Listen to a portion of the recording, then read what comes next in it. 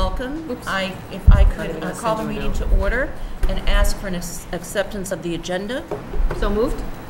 Moved by Ms. Second. Curran, second by Mr. Vegnani. All in favor? Aye. Aye. Four, nothing, motion carries. Uh, Do I see any walk-ins tonight? We all know what a walk-in is? All right, no walk-ins tonight. Uh, Now we have the report of the town administrator, Jim Boudreau.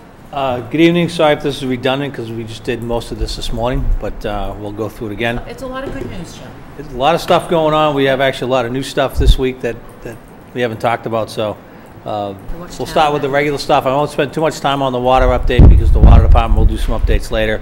Uh, But we are still working on Old Oaken Bucket. We're doing the services now. As soon as that project is finally done, the crew will move to Brook Street and replace the water lines from front to Tilden, then slightly down Tilden for a little bit, so that's ongoing. Uh, I believe they're designing these small, single streets now, start getting those done. Uh, But Old Oaken Bucket should be finished shortly, and once it's done, we will pave Old Oaken Bucket Road uh, for the entire length of that project. Uh, Water demand was down again last week, down almost 100,000 gallons a day to 1.317 million gallons. Uh, The manganese levels are slowly dropping in the reservoir. Uh, They are still high enough, though, to cause discolored water. The reservoir, the treatment plant does not treat for iron and manganese, so that will cause discolored water. The reservoir at Tack Factory right now is at 5.5 plus inches. Um, I don't think anybody can remember a September where we had that much water in the reservoir, which always leads to the question, why do we have a water ban? Uh, People just need to know the water ban that is in place right now is a state-imposed water ban, as it imposed on all the communities in our catch basin that would withdraw water from that uh, aquifer, so that is not us. Our water bans go into effect as our water usage goes up, but the state water ban is regardless of how much water you have, how much you're using, goes into effect May 1st every year, and that is the water ban we are currently under. Uh, The treatment plant, Kevin will touch this uh, quick, uh, briefly about the new treatment plant. We're in week five out of seven for the pilot program for the new water treatment plant. Uh, COVID cases uh, jumped to 29 this week from 17 the week before. Um, Two weeks before that, we were in the mid-20s, so we're kind of in that teen to high 20 range. Uh, But our positivity rating over the last 14 days actually went down slightly, 2.83 down from 3.06. So you can see those numbers are kind of in conflict. The state number is also down, uh, 2.43 from 2.75, but the county number is up. The county number is up to 3.9 from 3.55. So the numbers are kind of all over the place. Uh, As we've said, we will continue to monitor those uh, numbers. The Board of Health does have the ability to put a mask mandate in place for town buildings or for all public spaces in the town. But until we see that number continually rise on a regular basis, we will just monitor it at this point and see where it goes. Uh, We are waiting for guidance on the Moderna and Pfizer booster shots. We have not received that yet. Once we get it, we will pass that along. Uh, First parish work is continuing. If you go up there now, you can see the sidewalk. Uh, They're getting close to finishing the sidewalk. The new granite curbing looks fantastic. Uh, I think the new sidewalk that we'll be doing from the senior center across First Parish to connect to Central, uh, Central Park will be fantastic. It'll connect the seniors, it'll connect the library and the Central Park fields to the senior center, the food pantry and recreation. Uh, We started final paving today on Jefferson Lane, Washington Lane, Clifton Ave, and Thomas Ave. Uh, Those should be finished up either today or over the next couple days. And I'll just remind people, uh, Old Oaken Bucket and First Parish, when that paving is done, uh, as paving completes, speeds tend to go up. We will be doing intensive traffic enforcement in both those areas when the paving is done. So when you see the paving trucks, you better start slowing down. Uh, Stevenson Rink renovations continue. If you go over there now, you'll see that the boards have arrived. They arrived today. They'll start installing those tomorrow. The surface is down. Uh, We are asking people, you need to stay out of that area. It is a construction zone. Uh, We've actually, the contractor has padlocked the construction fence to the tennis court fence to keep the people from coming off uh, the uh, skate park, and they're still coming in. I went over there, Kevin was over there earlier tonight. There was probably a dozen people on it. Um, They refused to leave when they were asked to, so uh, we actually called the cruiser to get them out of there. It is a construction area. You should not be in there.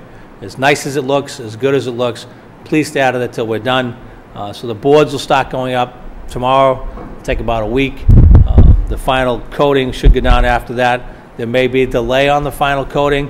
Uh, We are having an issue in the town with getting our thermoplastic for the lines on the streets because of COVID and because of the power losses in the ice storms in Texas last winter. That's where all that thermoplastic comes from. The same supplier does the surface for the rink, so there could be a delay in getting that surface, but we'll get it down as quickly as we can. We've put in place restrictions on the contractors so they don't interfere with the opening and closing of schools during the day. Uh, But we are still on schedule to finish that uh, by the end of the month. It's probably going to be pushed over into October, I think, by the time we finish. Uh, If you get on Tack Factory Pond, well 17A, uh, everything's in and up. We are doing the testing now. Once we finish testing all the equipment, we'll bring in DEP uh, to get signed off. That returns 225 to 250,000 gallons of water a day back into the system with no iron, with no manganese, which, as everybody knows, is the cause of our brown water. So that is very good news. Uh, Widows Walk is ongoing. Uh, You get on there now, again, the parking lot's paved, the building envelope is kind of up, you can see what it's going to look like. Uh, They're working on the drainage now. Uh, The well 17, uh, 18, sorry, the well 18 project is just about completed. Uh, When we backwash the filters on well 18B, that backwash has a lot of iron and manganese in it. We will pump that over to the golf course. It'll go to a sediment tank, the iron and manganese will settle out, and then that water will be able to be used to irrigate the golf course. Uh, Possibly up to 10,000 gallons a day we could be putting out there, so that's good news for the golf course, and it's better than just putting that water away to waste. Um, I think that's just about done, Kev, that project, so that's pretty good. Uh, If you get on the Humarock, the living quarters on the fire station are all framed, and most of the windows are in, so the living quarters are progressing. The apparatus bay, the walls are going up this week. We expect the roof trusses to come in and start being put up next week. We are still on schedule and on budget down there. Uh, It will be tight, but we will have everything buttoned up in time to get that truck back into the station with the firefighters before the cold weather. So if you get down there, you see that that's ongoing. Uh, Reminder to people that the lifeguards are now off all our beaches. Humarock was the last one, so there are no lifeguards on the beaches. Uh, So if you go to the beaches, you need to use a lot more caution, uh, especially this week. Uh, Hurricane Larry, um, sorry, I just laugh whenever I say Hurricane Larry. It doesn't seem like the name of a hurricane. Hurley, Hur- hur- yeah, the rest of the stooges aren't here. Uh, Hurricane Larry is in the Atlantic right now. It is a Category 3 storm, which is a pretty good storm. It is not expected to impact us directly, but starting tomorrow into Thursday and Friday, we are expecting to see increased surf on our beaches, probably some erosion, and the possibility for rip currents. So if you do go to the beaches, uh, please use extra caution the next couple days. There are no lifeguards, and we will see some impacts from Larry. If those impacts seem to be getting greater, we will put out additional notices over the next couple days. Uh, Council on Aging kicked off their lunch program on Thursday. We had almost 90 seniors there for a baked uh, barbecue chicken lunch, barbecue chicken, corn on the cob, potato salad, followed by a strawberry shortcake dessert with coffee. It was amazing. The place was packed. People had a great time. Uh, the food, I understand, was fantastic. I didn't try it, um, but I did help serve and talk to a lot of the residents. And exactly what I think this board envisioned when we started talking about building that and building, building it. Really just seniors coming together, really enjoying each other's company, having a great time, getting a meal. The meals are $5, uh, so they're very inexpensive. Every Monday, Tuesday, Wednesday, and Thursday at noontime is lunch. Uh, You're asked to sign up two days in advance by calling into the Council on Aging at uh, 781-545-8722, and then press zero. The menus are on the website, but for the rest of this week, uh, tomorrow is uh, baked pasta with chicken and a crumb topping with fresh buttered broccoli and garlic bread. And Thursday is meatloaf with mushroom gravy, green beans, parsnip mashed potatoes, a roll, and butter. Uh, It is really, I hope the board gets a chance to go up there and, and see one of the meals. For five bucks, you can't beat it, and it was just, it was so great to see so many people just enjoying each other's company and, and hanging out and talking. Really exactly what you planned when we built this thing. So uh, kudos to Linda and her staff and the volunteers for getting that up and running, and I hope the seniors enjoy uh, the new setup up there, because it really is fantastic. Cedar Point, the contractor's back out of Cedar Point this week. We're doing some drainage, we're raising the castings. Once that's done, we'll be back to pave Cedar Point. The plan is to pave Cedar Point now before the cold weather. That will be dependent upon the availability of the paving contractor, but we are fairly hopeful that we'll be able to get him out there, weather dependent, wrap that up this winter and finish that project. Uh, Today is Rosh Hashanah, so we want to wish all our friends of the Jewish faith a Happy New Year. It started last night. It goes to uh, tomorrow evening, so if you have any friends who practice the Jewish religion, Happy New Year. I wasn't able to find out exactly what year it is, but uh, Happy New Year to all those celebrating. Uh, For the board, I think we let everybody know that we've finished the Chief Justice Cushing Highway land purchase. The land on the right side as you head towards Marshfield from Old Forge down to the reservoir, we finished that purchase. That land is now ours.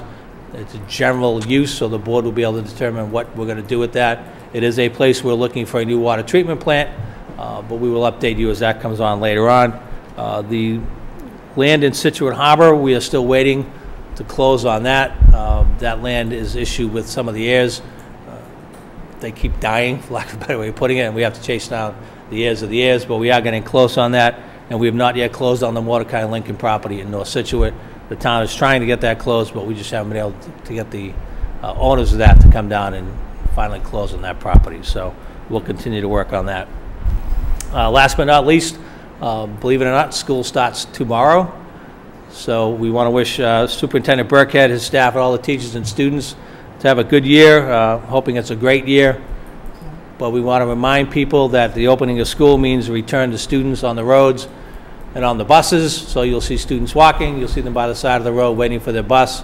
Uh, We ask people to be extra cautious with those people on the roads.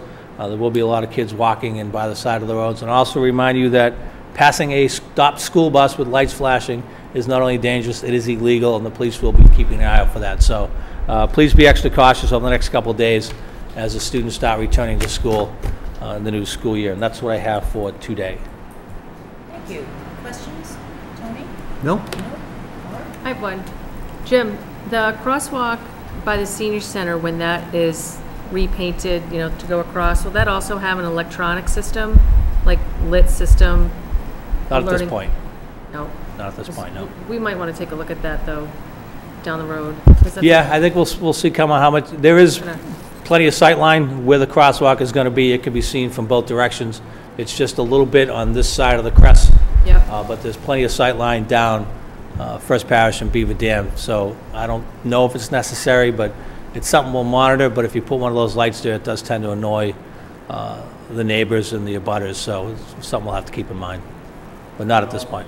We also spotted it on the light, street light, so it can be visible. um, I just think it'll give the seniors a lot of comfort to know that there's some extra safety precautions there. Just, I think we need to put it on our list. Um, And then my other question was, do they anticipate 90 people every lunchtime, or do you think that I was don't think a- they're anticipating that many. I think this is just a kickoff. That's Um, great. I think part of it's also going to be dependent upon the menu. Yeah, true that. But the menu is online. If you go to the town's website, go to the Council on Aging webpage, it's on there, or in the new newsletter that the Council on Aging sent out in the calendar, there's a lunch every week, so. um, But, you know, really, it was, it was fantastic to see everybody there. Yeah, that's nice. That was all. Andrew? Good. Okay, I have a couple. Uh, Speaking of the senior center, when you go to their website, all you have are old pictures of the old senior center. I have new ones. Really nice if we had new pictures of the new facility. Yeah, and I know she's working with Google, because when you do Google, it still sends you to the old one, and we're trying to get Google to update. That's all you can find, is the old one. the old one. We I just mean, tear it down. it- It's, it's, it's been months now, so. Yeah, okay, we can get on that, yep. We could get a new website with new pictures. Um, school traffic. School starts tomorrow. Is there gonna be the chaos out there tomorrow afternoon? Drop-off doesn't seem to be as bad as pickup. And as you and I talked about earlier in the week, people, people go everywhere. They, they don't follow the rules, they don't, they, it's really, bad. it has been bad. I think drop-off is as bad as pickup, it's just It not as not. long a duration, uh, because they come all at the same time, so there will be traffic. Last year, it backed up First Parish to the funeral home a couple times, um, so it gets bad in the morning, but it's quicker.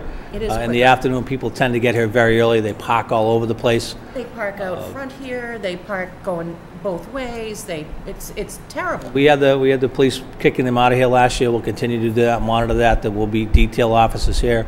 Uh, The schools are working on a plan to try to increase some stacking lanes over there. Um, I'm asked, I've asked for a copy of the plan, I haven't got it yet, but they're working with the planning board on that, to maybe have some more room for people to fit. Uh, And I think the other thing we're hoping to see is that more kids will be on the bus. Uh, Last year, with the restrictions on the bus, with the COVID, A lot of parents drove, so I think there'll be more kids on the bus, but it's going to be a work in progress for the first couple weeks. All right. Well, I just want to express the concern that some people have about what it's like out there in the afternoons. And finally, I would like to say that Cedar Point, I think we're now can say, went very well. And so much could have gone wrong out there. So, some stuff in our control, some stuff not in our control. Everything seemed to have worked well. And I just want to say to DPW, to, to the town administrator, to everyone who worked on that, that it was not without its controversy, as we all know, but it's done. It's done well. I believe it came in on budget, if not under budget. Yep. And it's working, and hopefully we'll see the results of the I and I as a result of it. So Yeah, we're def- you. definitely seeing I and I better, uh, and, you know, the congratulations goes to Kevin and his staff and the sewer department. Um, But, you know, as I reported before, we found laterals that weren't connected, we found laterals that were crushed, we found laterals that were connected with duct tape, uh, and that, that's all huge sources of I and I. So it will take a little while to model over time what the actual savings are, but we think they're, they're great, they're actually higher than we anticipated, and I think when it's done, uh, it's going to look, Cedar Point will look fantastic, with the new road uh, and with the water and so out there. So I think it, it came out very well. And again, uh, Will and his department, Kevin and his guys and the engineers, the consulting engineer did a fantastic job out there. Well, because we always hear about what goes wrong, and when something goes really well, just wanted to say thank you. So if anyone else. Can I just add one thing on Karen's point about the um, traffic tomorrow, Jim? I know there's usually a police officer over here.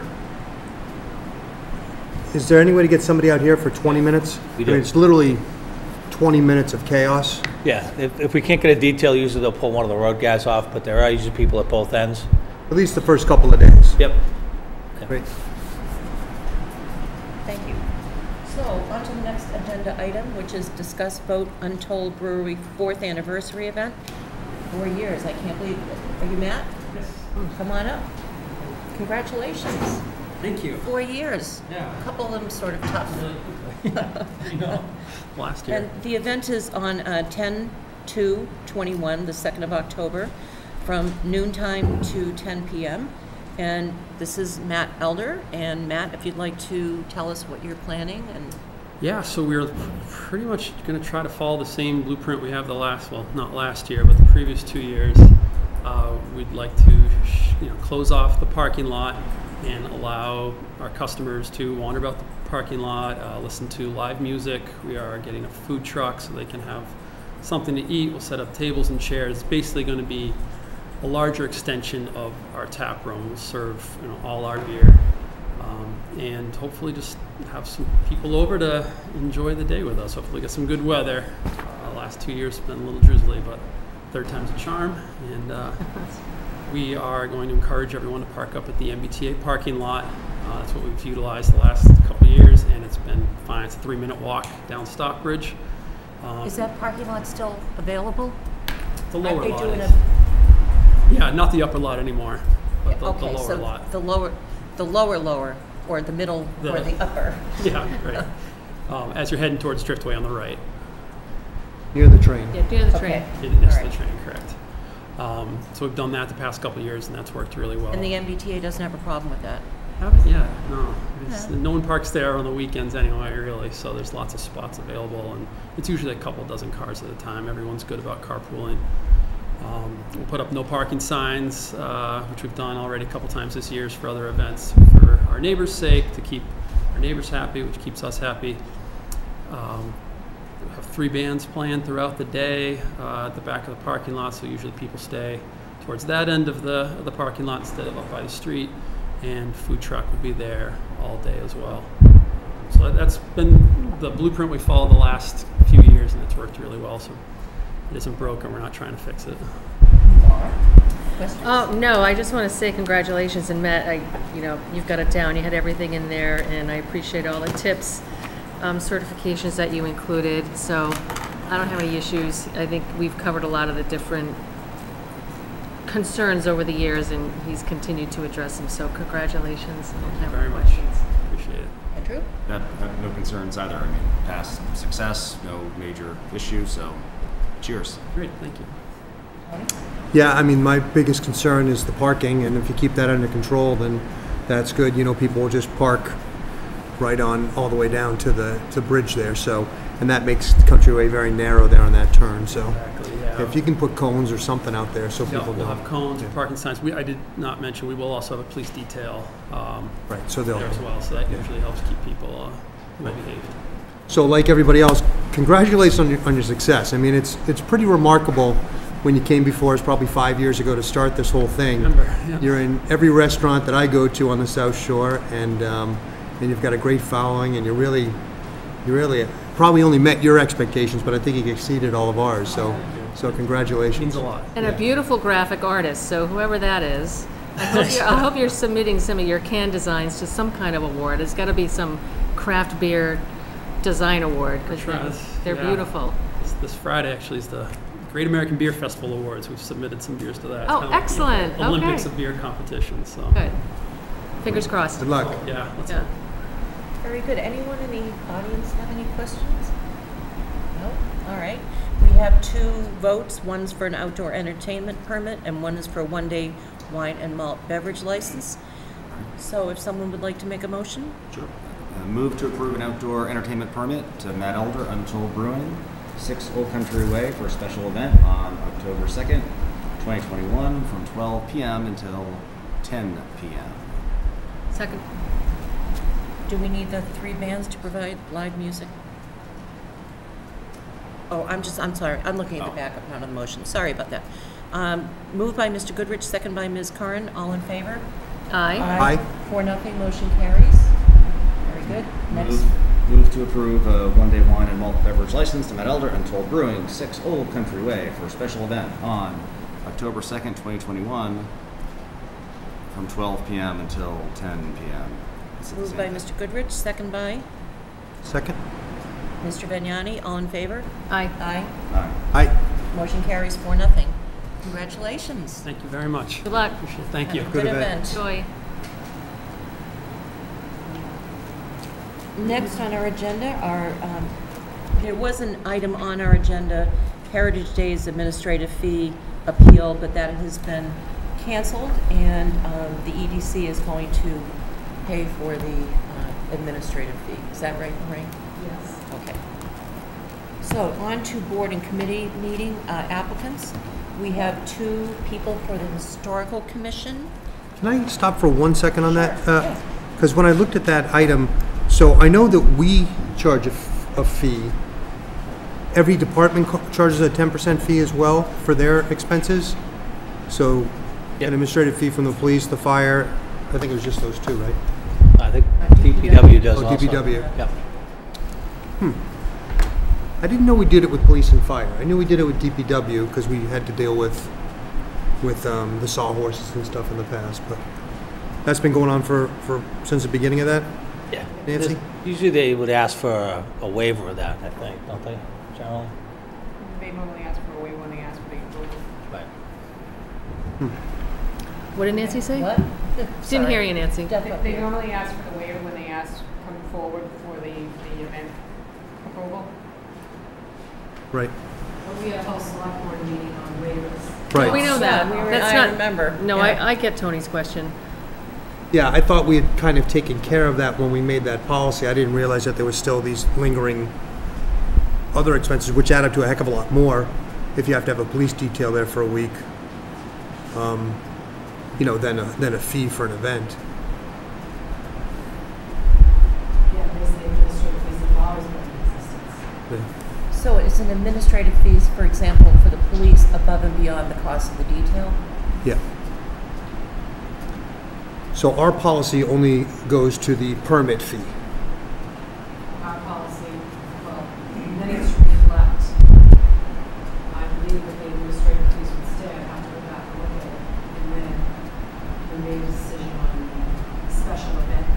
Right. Which does not incorporate what we're talking about here. Correct. I don't think they did either when we were talking about it. I just didn't. We may want to revisit that at some point in time, you know. For clarity. Yeah, maybe put a cap on it or something. I mean, what, wasn't one of the bills like twenty-four hundred dollars or something? Mm-hmm. All right. Thanks. Well. Sorry for the, no, thirteen hundred dollars right. So, um, back to the applications. Uh, Mr. Whitaker, I see is here. Would you like to come up? Yes. Introduce yourself? Hi, and I'm, Tell us why you're interested in the Historic Commission. okay. I'm uh, Jack Whitaker. I um, uh, familiar faces, but um, by way of background, um, before I moved to Scituate, I was on the Natick Historic Commission at that experience, and also their Historic District Study Committee. We studied and we recommended two districts to town meeting, and they adopted them. All of downtown Natick's commercial district, and then the commercial district in South Natick. Um, my undergraduate major was history. I was originally certified to be a high school history teacher, but then I went in the Army, I went into banking, went into college administration. Um, I've had a lifetime interest in history, and particularly Plymouth County. Um, I took a couple elective courses as an undergraduate in historic architecture. That's fascinated me for years it's put me in good stead because um, at one point in my career, I was director of budget and capital planning for the Mass Public Higher Ed system. They have, the community colleges and the universities have a variety of historic buildings.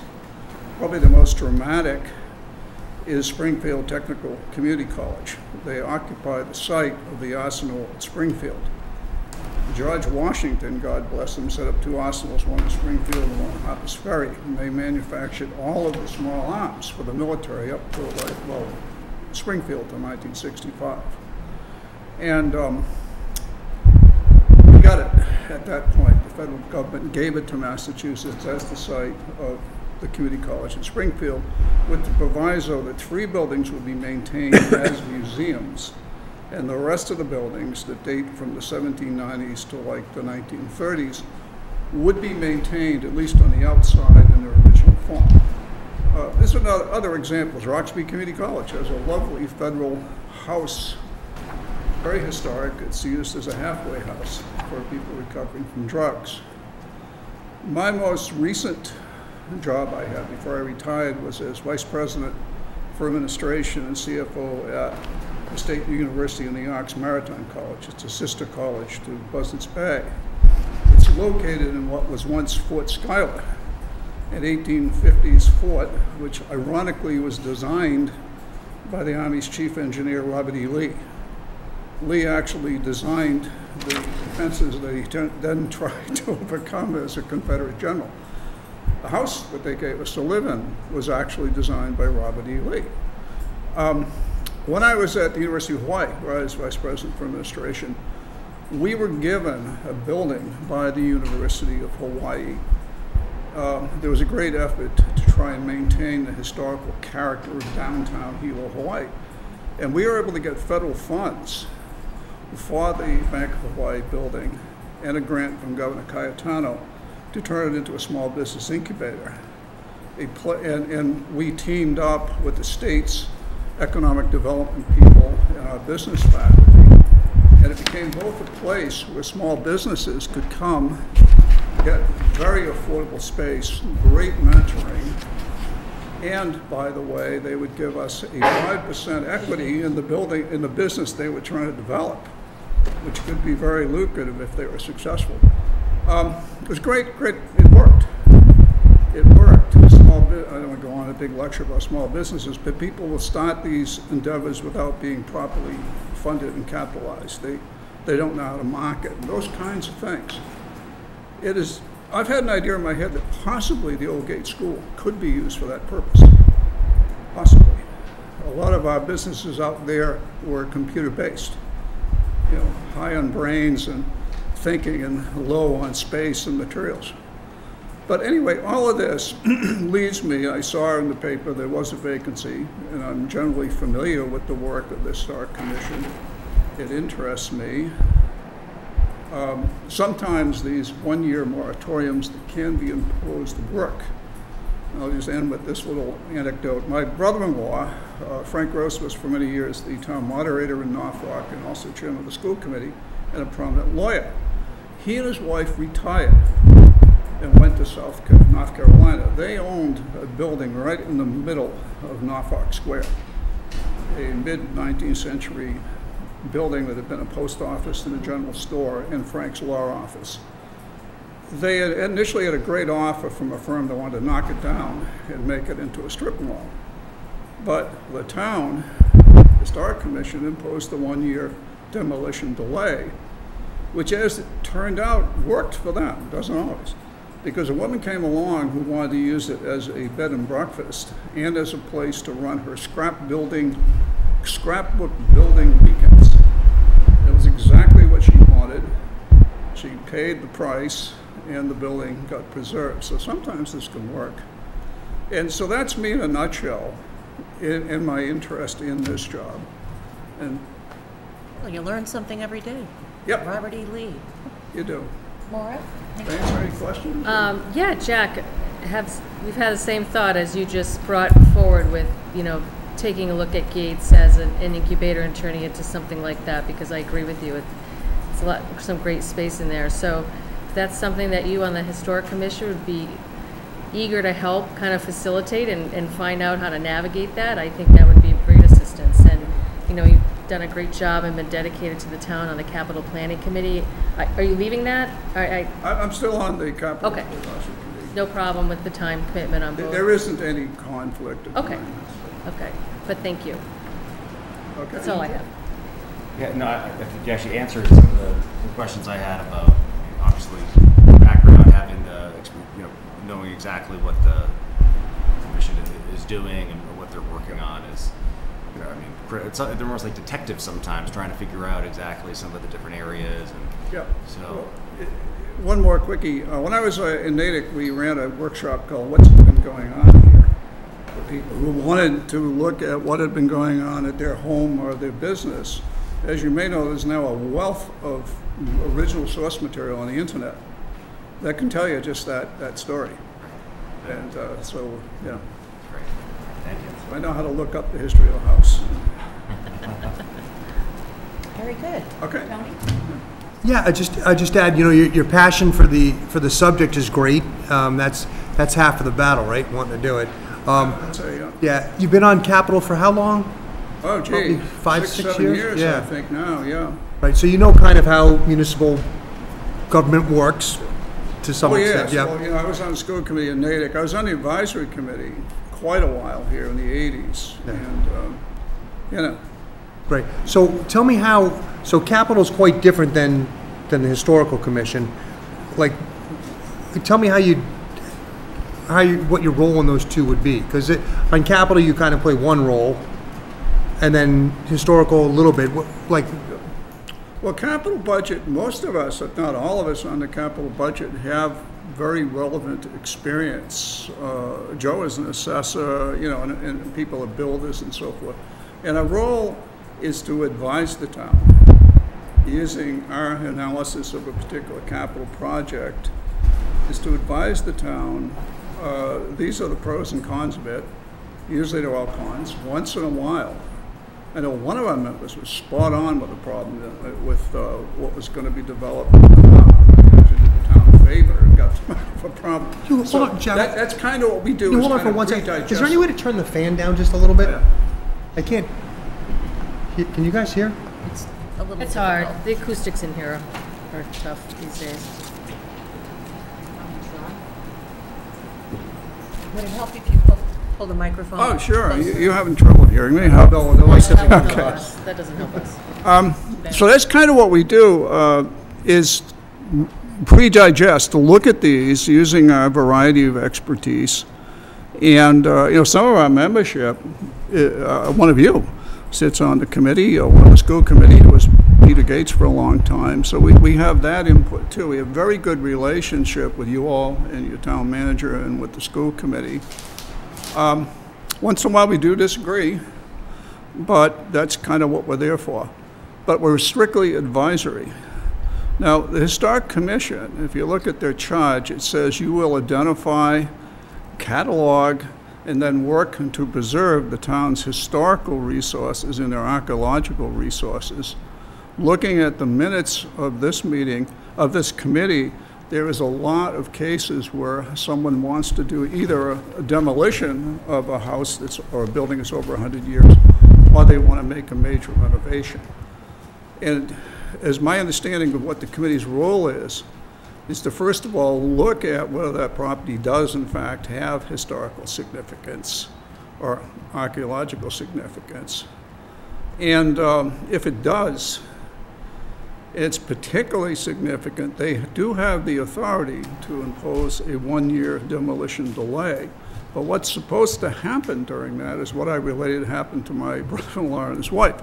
There should be an effort to see if another worthwhile use can be made, or a different buyer could be brought in. And if I come onto the committee, one thing I'll try to do is hook us up more with nationwide realtors who are in the business of marketing historic uh, properties. They, they do exist. And um, so that you, you don't want to end up disadvantaging, uh, disadvantaging somebody who's got a house they want to sell.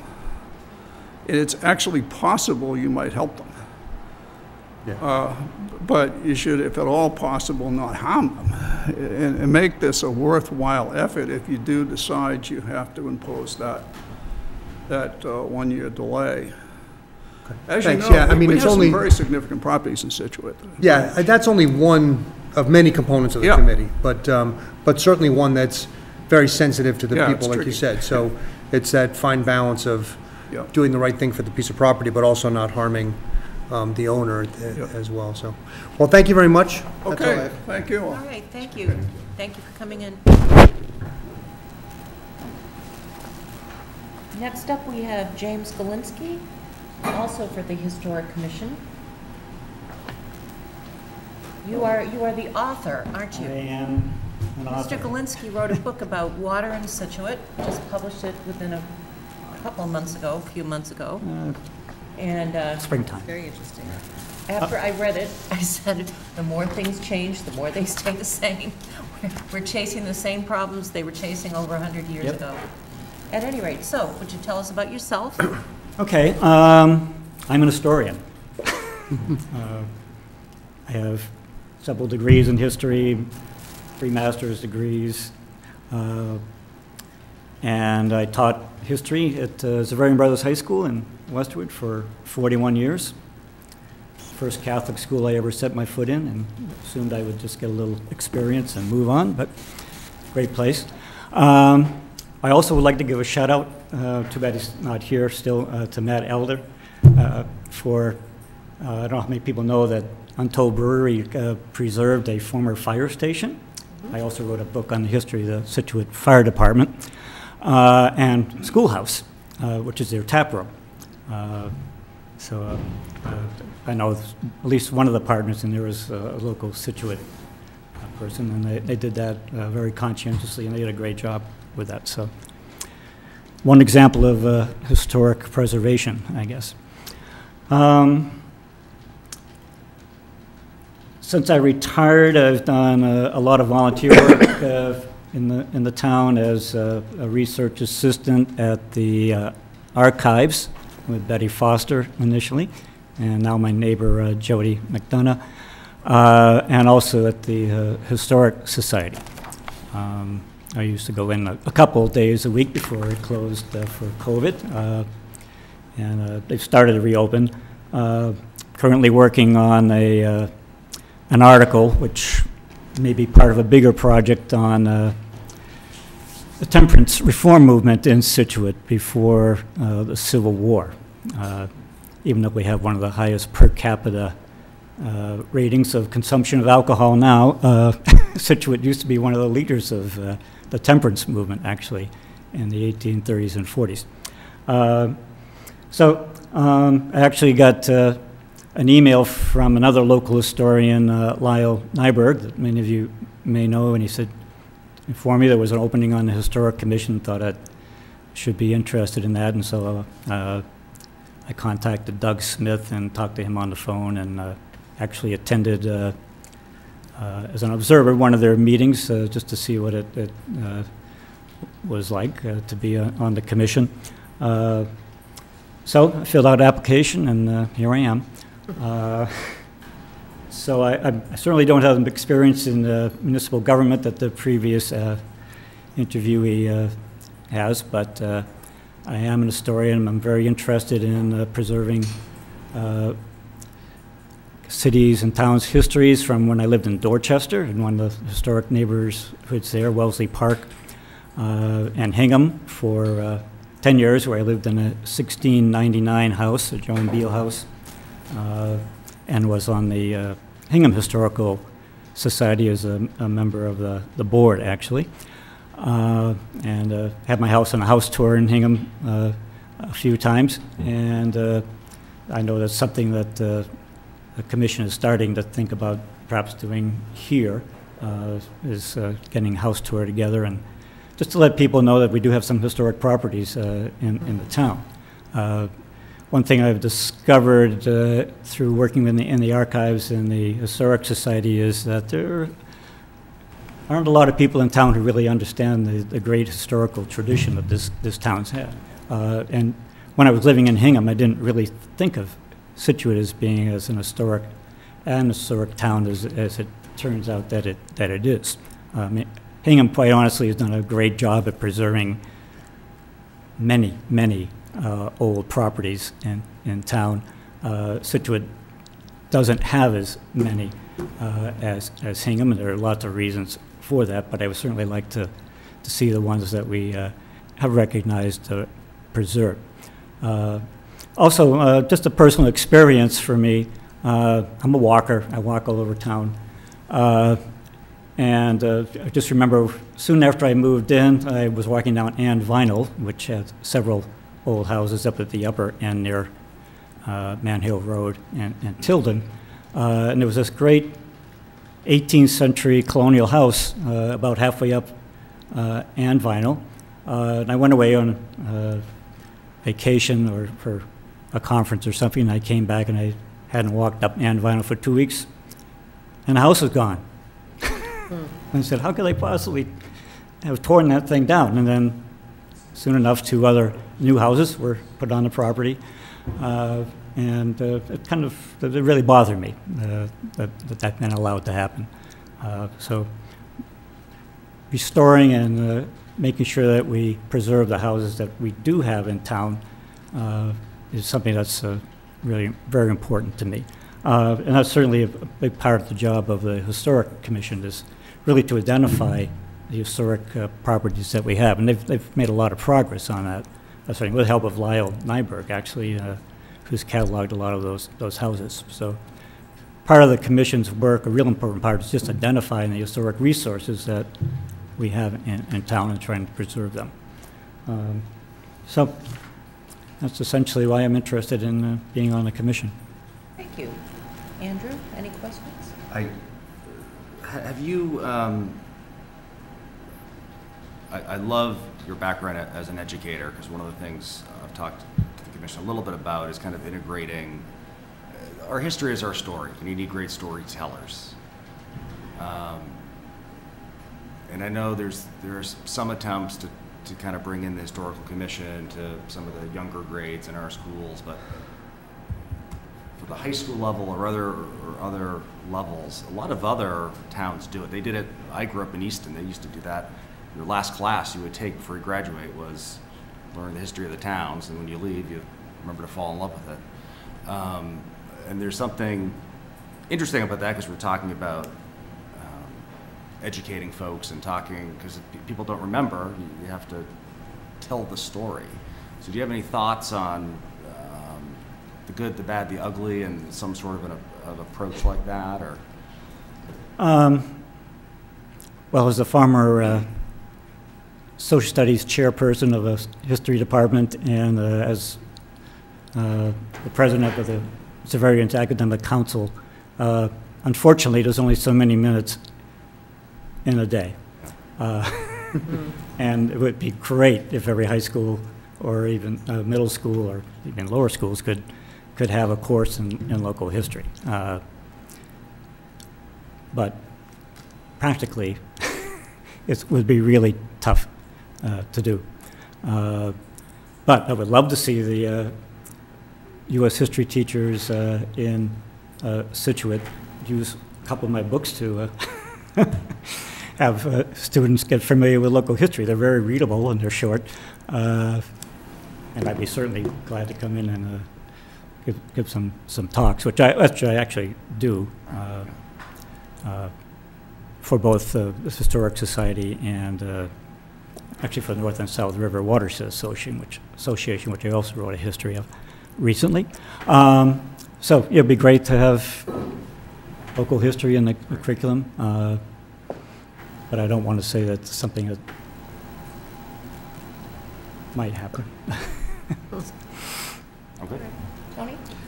Yeah, uh, just briefly, you know, I agree with Andrew, your background is spot on. Um, As I mentioned before, I think the passion is what really makes people really successful in these types of committees, someone that y- you want to go to the meetings and you want to be involved and you do stuff outside of the meetings, and it, it seems like you have all that, so, um, you know, I I think uh, you'd be a great candidate for the position as well. You can expand the committee to, to six people. Well, the one thing that we always say is, many times we get more than one good applicant, and we, we definitely involve I mean, uh, you know, advise people to get involved, even if you're not on the committee. You, all the meetings are open meetings, they'll listen to you, your ideas, whether you're, whether you get a vote or you don't get a vote, but, um, um, in this case, are there two posi, is there an There's an associate position as well? Two, one associate and one full, it Yeah. looks like, is that right? Doug has asked that you consider making one associate position. So adding an associate, He has an associate now, uh, and he would like another associate, because he's been on meeting for the next couple of years, and he would like some people. Yeah, it's nice to have that bench. so adding us- an associate, so there's two. Okay. It's not in the bylaw, so it doesn't need a bylaw change. Right. All right. Well, Mr. Polinsky, thank you Okay, for coming thank you. in. Appreciate your passion for the history of the town. I actually had heard at one point that Scituate owns more historic buildings than any other town in the Commonwealth, including the city of Boston, because a lot of historical properties are either privately owned or owned by foundations, associations, friends of, etc. So um, that was a little factoid that stuck in my head at one point. The town actually owns historic properties, which a lot of towns don't. Yeah, yeah. Yeah, so, thank you. Um, Next, Erin Hurd, Beautification Commission. No, Ms. Hurd? We did not hear back from so I don't know if she was. Okay. David Deneen, Waterways Commission. Mr. Deneen? Good evening. Welcome. How is everybody? Very good. Would you like to tell us about yourself and why you're interested in the Waterways Commission? Sure. My name's David Deneen. I live on Tilden Road. I've been in Scituate for over 20 years. Uh, my wife Paula, uh, born and raised here. There's may, there may be a guy in the second row that might be related to me, but hmm, I don't know if uh, Mike.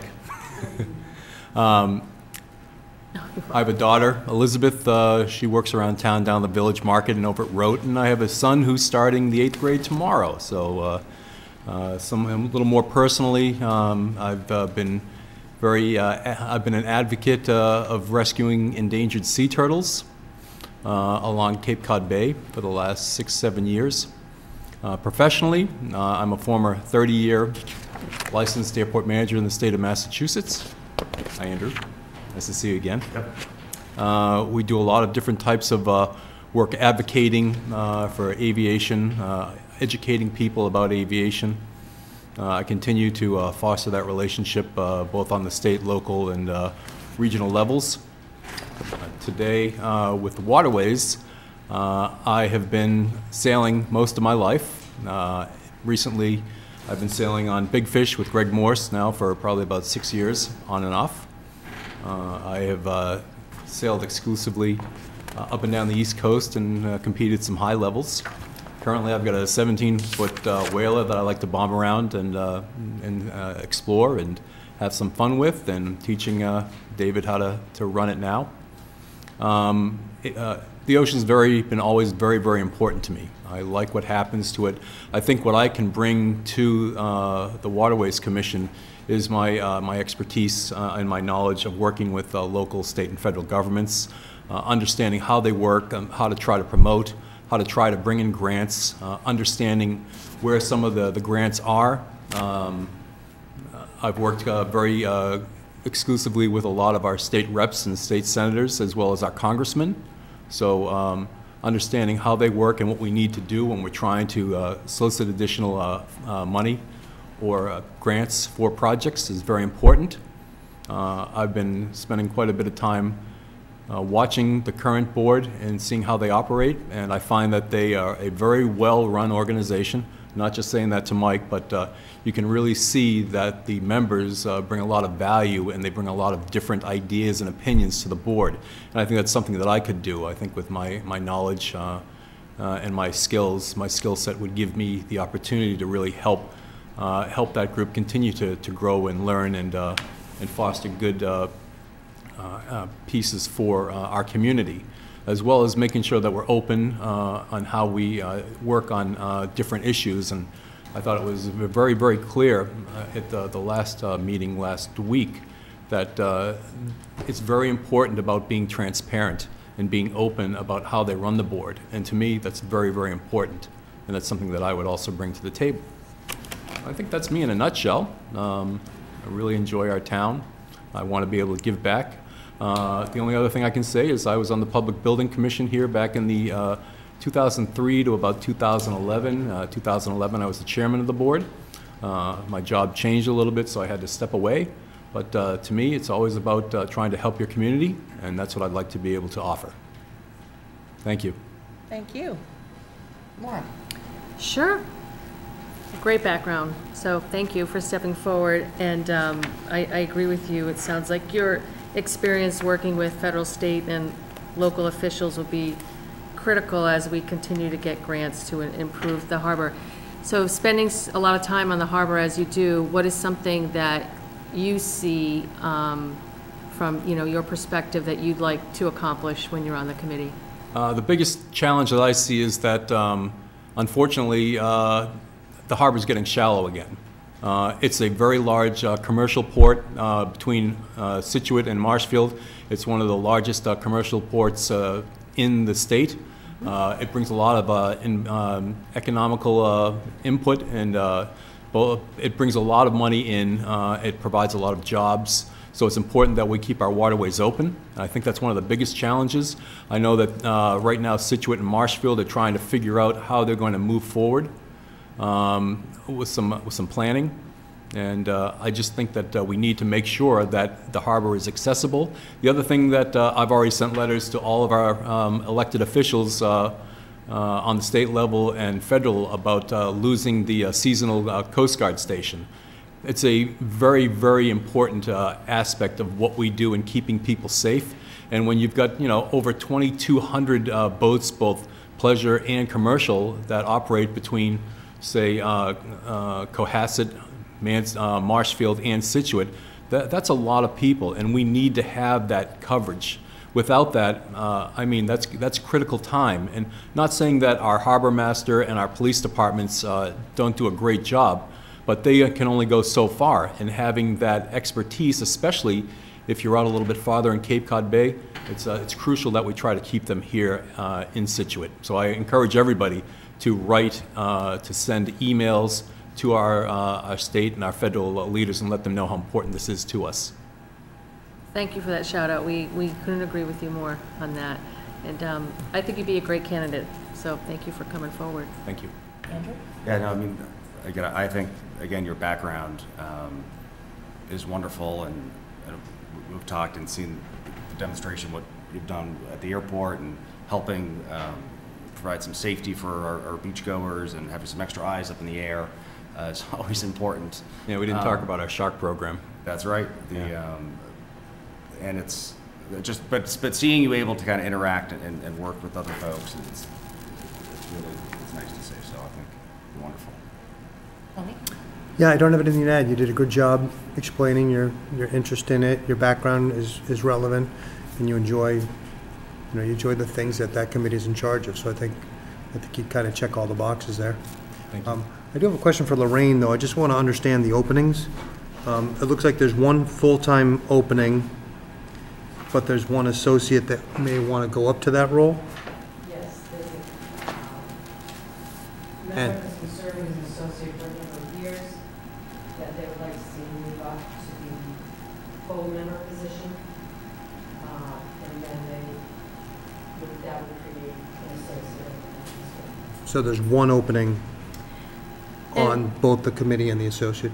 To piggyback on Tony, is there anything in our bylaws that prohibits us from adding associates, um, just as liaison and attending the meetings and speaking with Mike? You know, there are some folks that are going to start I'll thinking about leaving.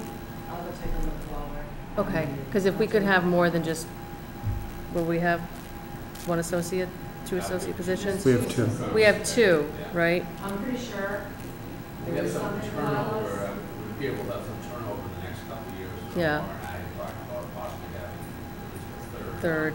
So that we have a better base of people who can. So is it Mr. Haley who's currently an associate who wants to move us? Mr. Haley, correct? Okay. All right. Okay. Well, I thank you very much for coming in. Thank you. Hopefully we'll be voting tonight. Thank you, thank you. Thank you. Should I wait for Lorraine? No. No. Mark Devereaux, is Mark Devereaux here? Mark Devereaux. I think that's the name, isn't it? Oh, I Uh, have- T- TJ Malvesti? Malvesti. Oh, all right. I'm sorry. Yeah, I see it now. I Yeah. just jumped down. You must be TJ. I'm TJ. Good evening. Good How are you? evening. Would you like to tell us about yourself and why you're interested in the Waterways Commission? Absolutely, I'd love to. I just um, retired after 30 years of uh, Coast Guard service. I retired out as the commander of uh, Coast Guard Station Point Allerton and also the seasonal unit here that's under discussion here in Scituate. I've been on the water all my life, grew up in Gloucester, lobstered commercially, recreationally, and have always had a passion for the ocean, obviously, through my Coast Guard service. Uh, Well-versed in, in all marine affairs, from pollution to response to aids to navigation to fortification to adaptation to different strategies on how to um, harden and, and make, uh, you know, waterways viable, uh, both from an, uh, you know, economic standpoint as well as from a, you know, a, a citizen wanting to go for sale standpoint. So, um, a lot of experience, a lot of background, and certainly, um, you know, after 30 years of service, it's almost in me where I want to continue the public service and giving back. we moved to Scituate three years ago, and this is where we're going to stay. We chose this as a retirement place, so um, certainly would like to get involved. And um, I'm a recreational boater, just like a lot of us. Both of my children are on the water through uh, Scituate Rec Sailing. So not only uh, have I been on it professionally in the course of my duties, but also as a, as a user of the harbor as well. So excited to get involved any way I possibly can. Right. Well, thank you for your service in the Coast Guard. It's dangerous. It's, it's, it is dangerous, it's fun. It's exciting. It's very exciting, but I think the, uh, the service has set us up for success as far as keeping us safe and having measures, uh, risk assessment measures, and all the gear that we have to keep the gal- gals and guys out there safe when they're on the water, so. Well, thank you. Maura, any questions? I do, I'm going to ask you the same question. Sure. You know, as a user of our waterways, what do you see as being one of the more pressing issues that the Waterways Commission should I- address in the upcoming years? I think it's going to be the, the sustained growth over the next couple of years. Uh, back in May, the uh, National Marine Manufacturers Association put out a, a report projecting the, the growth of people wanting to be boaters, wanting to buy new boats, the used market, and it looks for the next two to three years, the post-pandemic surge of boating is going to continue. So I think that the town needs to continue to adapt to that surge and also be prepared for when that wave is, when we're on the other side of that wave, how we can sustain the harbor in the most economical uh, manner possible. So I think that is probably, probably going to be our biggest um, challenge in the coming years. And that, of course, you know, with Station Scituate potentially closing, um, the harbor master, the chief of police with the marine unit, and of course, the fire chief with the dive team, uh, very, very capable. But I, I think if we do lose Scituate, there has to be some planning involved, uh, Station Scituate, um, in response measures going forward to serve the, the town. You'd certainly be a good advisor for that, so, thank you. Probably not. Yeah. Andrew? I, I'm just, I'm so impressed at all these different folks who are so accomplished and Very willing to step forward. We are very, yeah, we're very lucky. And I think you're going to be a great candidate. And again, that, that vision to look forward, uh, you know, years down the road, um, boy, that- I- no questions. I And I think that's the biggest thing I've seen in, I was on Nantucket for a while. They were adapting to some of the changes with the tourism. I was out there during '08 when we started to see some of the tourism start to go away because of the economic crisis. So the town was, you know, faced with, okay, we, we depend on this amount of, you know, transient moorings, and how's that going to affect? So I think a strategic plan for when things do taper off a little bit is, is certainly in our best interest. That's a good point. Tony? Yeah, just, um, now I'll piggyback on to Maura. You, you mentioned adapting to, you know, an increased volume of boaters. Give me like one idea, wh- what's something we're gonna have to deal with? I think a couple of things. We've, we've done uh, huge improvements to Cole Parkway. And I know that there's a plan with, after the pilings, we're looking at some, some new floating docks as well. I think we're going to see an increase of people, you know, you can hear them on the radio calling, hey, I need a pump out. We could maybe look at a different pump out station someplace else to, to try to, in the harbor, maybe at the, I know one thing was being talked about, maybe at the, the boat ramp, Jericho boat ramp. Um, I think that's going to be um, something to look at too, is how are people going to, you know, the transit, the amount of transients we have, how are they going to, you know, get to shore, get rid of their waste, and what services on shore can we provide as a town to make sure that they feel welcomed and they want to come back, you know, and, and, and spend money to reserve a mooring, whether it be through any of the mooring services in the harbor. Great. Thanks again. As Andrew said, just great qualified people, so we can't make a bad, we can't make a bad choice. No, Excellent. it's true. All right, thank you for coming in. Well, I appreciate your time. Thank you so much. Sorry, Thank you. It over there. And now I've got Brian Cronin. So, in order, I did find the answer to your question. Okay. Um, So we only have nine members, one of whom should be the harbor master. It has no limit on assessments three.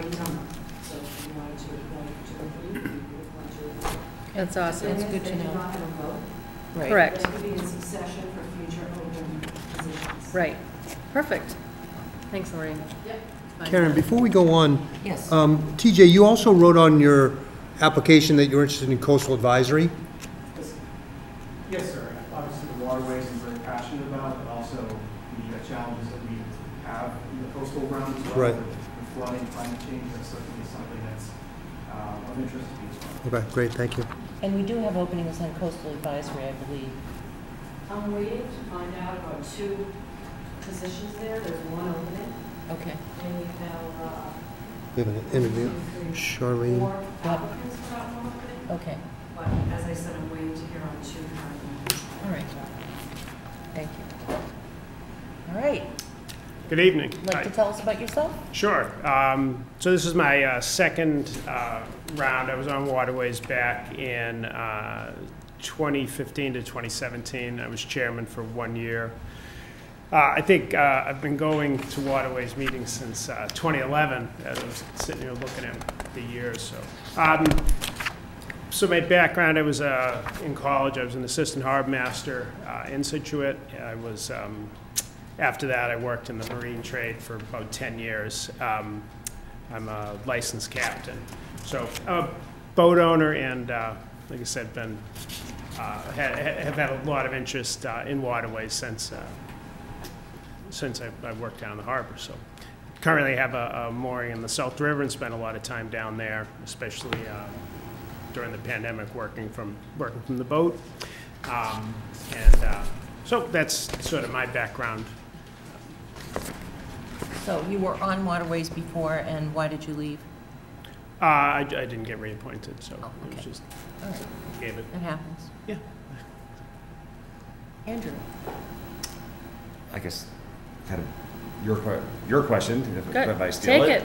it. Would you be- Steal What would you like ahead. to see Oh. a change, or? A comp, um, I think, uh, I think, um, the, kind of hit on before is dredging, dredging the harbor, finishing up the South River, um, and then, uh, accessibility, and, uh, and also, you know, how to, making sure that the waterways are patrolled, uh, with the, uh, added, all the added boaters out there, so. I think focused on education and safety of the, uh, the additional boaters is just, uh, seem to be a lot of uh, new boaters and um, just make sure that, uh, that everybody's doing it safe. So I think the, the Marine unit and the harbor master do a great job now, and they just need to, uh, I mean, just continue doing it. Right. Tony? Yeah, um, you, s- are you still in the maritime business some? No, no, Oh. not anymore. Oh, you're not? And what did you do in it? I don't, did you say? Uh, I sold boats, I sold boat parts, boat paint. Okay. Um, yeah, I guess that was it. Involved in It actual worked, it worked, in a boat, bo- yeah. I worked in a boatyard too Oh, for a good. while, so. Great. Yeah, um, again, you've got experience having been on the committee and, and background and passion to do it, so another, another strong candidate. Um, You know, I think all of you would serve well.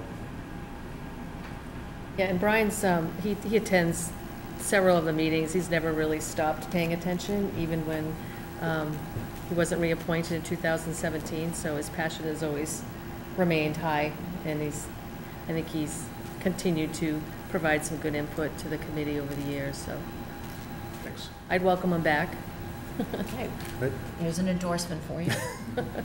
Thank you.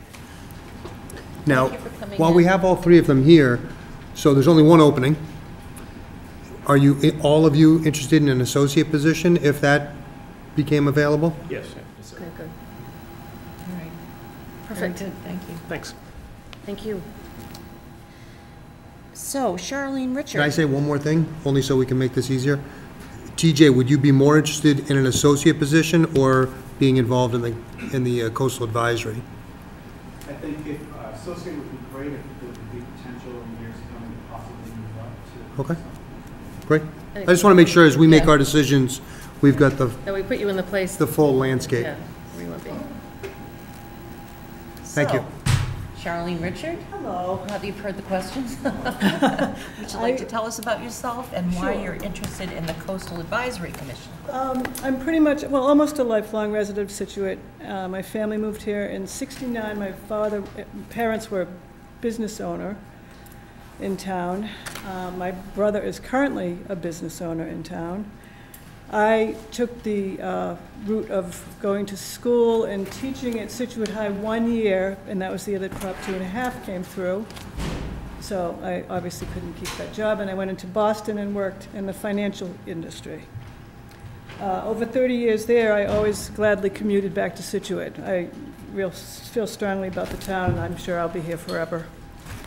Um, I am a former sailing enthusiast, a lot of racing out of the harbor, PHRF, even the frostbiting in the winter. And more recently, my husband and I had a uh, 36-foot Grand Banks that we've enjoyed as sort of a cottage, you know, traveled around from Long Island to all over the coast. Um, I had ri- retired and looking to get more involved, and when I heard that you were looking for people to help, basically, that's why I'm here. Um, I was also recently asked to join the Historical Commission Endowment Society, which would be perfect with my background in finance. I was a fixed income bond trader for 30 years, so I'm looking forward to helping them. Um, that's about it, and I agree with many of the comments these people have made about what needs, you know, what the concerns are, even if they're on a different committee. I'm- I, the environment is particularly of worry. I live where I can see the harbor from the house. I live at the beginning of Beaver Dam Road, so I have watched the storms, and I have watched the flooding, and I, you know, I, I'm right there. Um, So I know Maura knows a lot about Coastal Advisory, maybe you want to Sure. Um, Thank you, Charlene, for coming forward. So we have one opening, right, Lorraine? No, it's not clear, right? I'm waiting for two people that are currently on the board to get back to me. Okay. So we can review. But Louise um, stepped down, so, one yeah, yeah. Okay, so at least Four one. applicants. Okay, great. We may have two other openings, I just haven't heard back from the two. Okay, all right, so that sounds good. So coastal advisory really is about coastal resilience, right? And I think um, the biggest challenge has been COVID, I think, set us back considerably, not being able to meet and not keeping um, our $100 million identified, you know, improvement plan moving forward. So we've sort of got to step on that. So curious, just knowing that little bit of 30,000 foot overview, you know, what type of skill set do you think you could bring to the committee to help coalesce and get everybody going again? Well, you- there's a problem, you mean, there's a problem still meeting, getting people together? I, I, I am not aware of the last time they, they got together I yet. see. So that's, we just got a new, we just um, hired a new coastal resource officer, Mm-hmm. so I believe she's also getting her, Okay. her footings as well, for lack Well, of a I better think word. my experience is not really with committees, but in management and business, I was definitely a liaison, and because as a bond trader, I had to deal with the sell side and uh, buy side, you know, managers. I worked for, there was no commission involved here. It was a, it was a um, endowments and, uh, and, and mutual funds and things like that. And I was just able, to- long-time career bond trader, was able to make it work. So high pace, collaborator, Yes. Coordinate, you know, multitask, all of excellent that. attributes that we need. Yes, yes, yes. in a committee like this. Do you have any thoughts about coastal resiliency? Were you clear that that's what the Coastal Advisory Commission really looked at? Well, I try, I, I, I didn't get the proper invite like to this, that, so I wasn't sure what was going to be expected of me. And I started to just read through the documents today. And uh, I haven't gotten through everything. There are a lot, don't worry But it's the that. environmental, from a personal f- heartfelt point, it's the environmental that f- is the most threatening aspect, I think.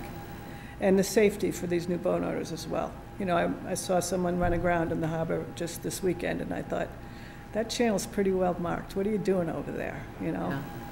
Um, Exploring, Yeah, not paying attention. not paying attention. Um, So I just, it's just, uh, want to help, and I'm not sure exactly how. Excellent.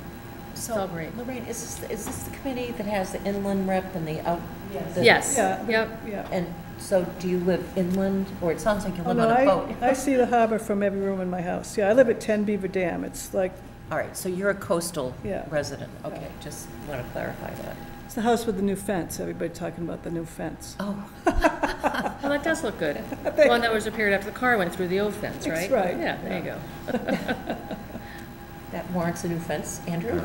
No, I, I mean, to re, to re-energize, uh, you know, a committee, it's, it's difficult, but it's needed, and it's, um, um, I mean, resilience, resiliency, and just trying to get people, you know, the focus is not always the, um, Yeah. The easiest topic, because they're, they're kind of esoteric understandings of, of, you know, it's not just walls and putting seagrass, and there, there's a lot of kind of moving parts, so kind of having that understanding, and if you have that willingness to kind of go through all the different Mm-hmm. aspects, because there are, it's, it's like a, Yeah, I'd like be happy ten to million be- different things you can do, and Yeah. what's the best, you know? I'd be happy to be the, the fresh blood. Yeah.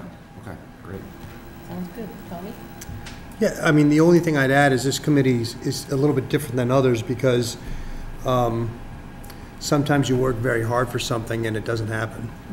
Uh, You know, we're looking at plans that are 25, 50 years in the future, and we'll put a little, a lot of energy into it, and then the neighbors won't want it, or there'll be roadblocks that don't get you there. Whereas if you're on beautification, you go plant a tree and it's there. Mm-hmm. So there's a lot of work that goes into it and not always the, not always the maybe feeling of success. Um, but it is something that's definitely needed and there's a lot of details to it. And there's a lot of, I, I guess, more of an educational component mm-hmm. where you have to really explain to people that don't understand what could happen, what's going on and, and mm-hmm. almost kind of teach them about what, what the likelihood or the possibility of stuff to occur is. I think that's a, a good role for me. My degree is in education, mm-hmm. business education. My, my experience in my career, we certainly didn't get everything right, no one mm-hmm. does. But, you know, and it is a constant combination of things that you bring together to, to come to a conclusion about what the right investment is, or what, who the right people are to get involved in that group. And I think I've had good success Yeah, with that. and I'm not judging whether it's a strength of yours, or not. I'm just, that's just my impression on the committee, because we've all been um, to many, many meetings and talked to many consultants and put a lot of presentations together. Right. And, um, you know, and it's, a- it's, it's a report or something somewhere that, that we hope we act on. And most of the things that you want to do cost way more money than the town can afford. So it's, it's really picking those, picking those projects that can make an impact probably that are actually doable. So, um, anyways, I think it's a great committee. There's a ton to learn,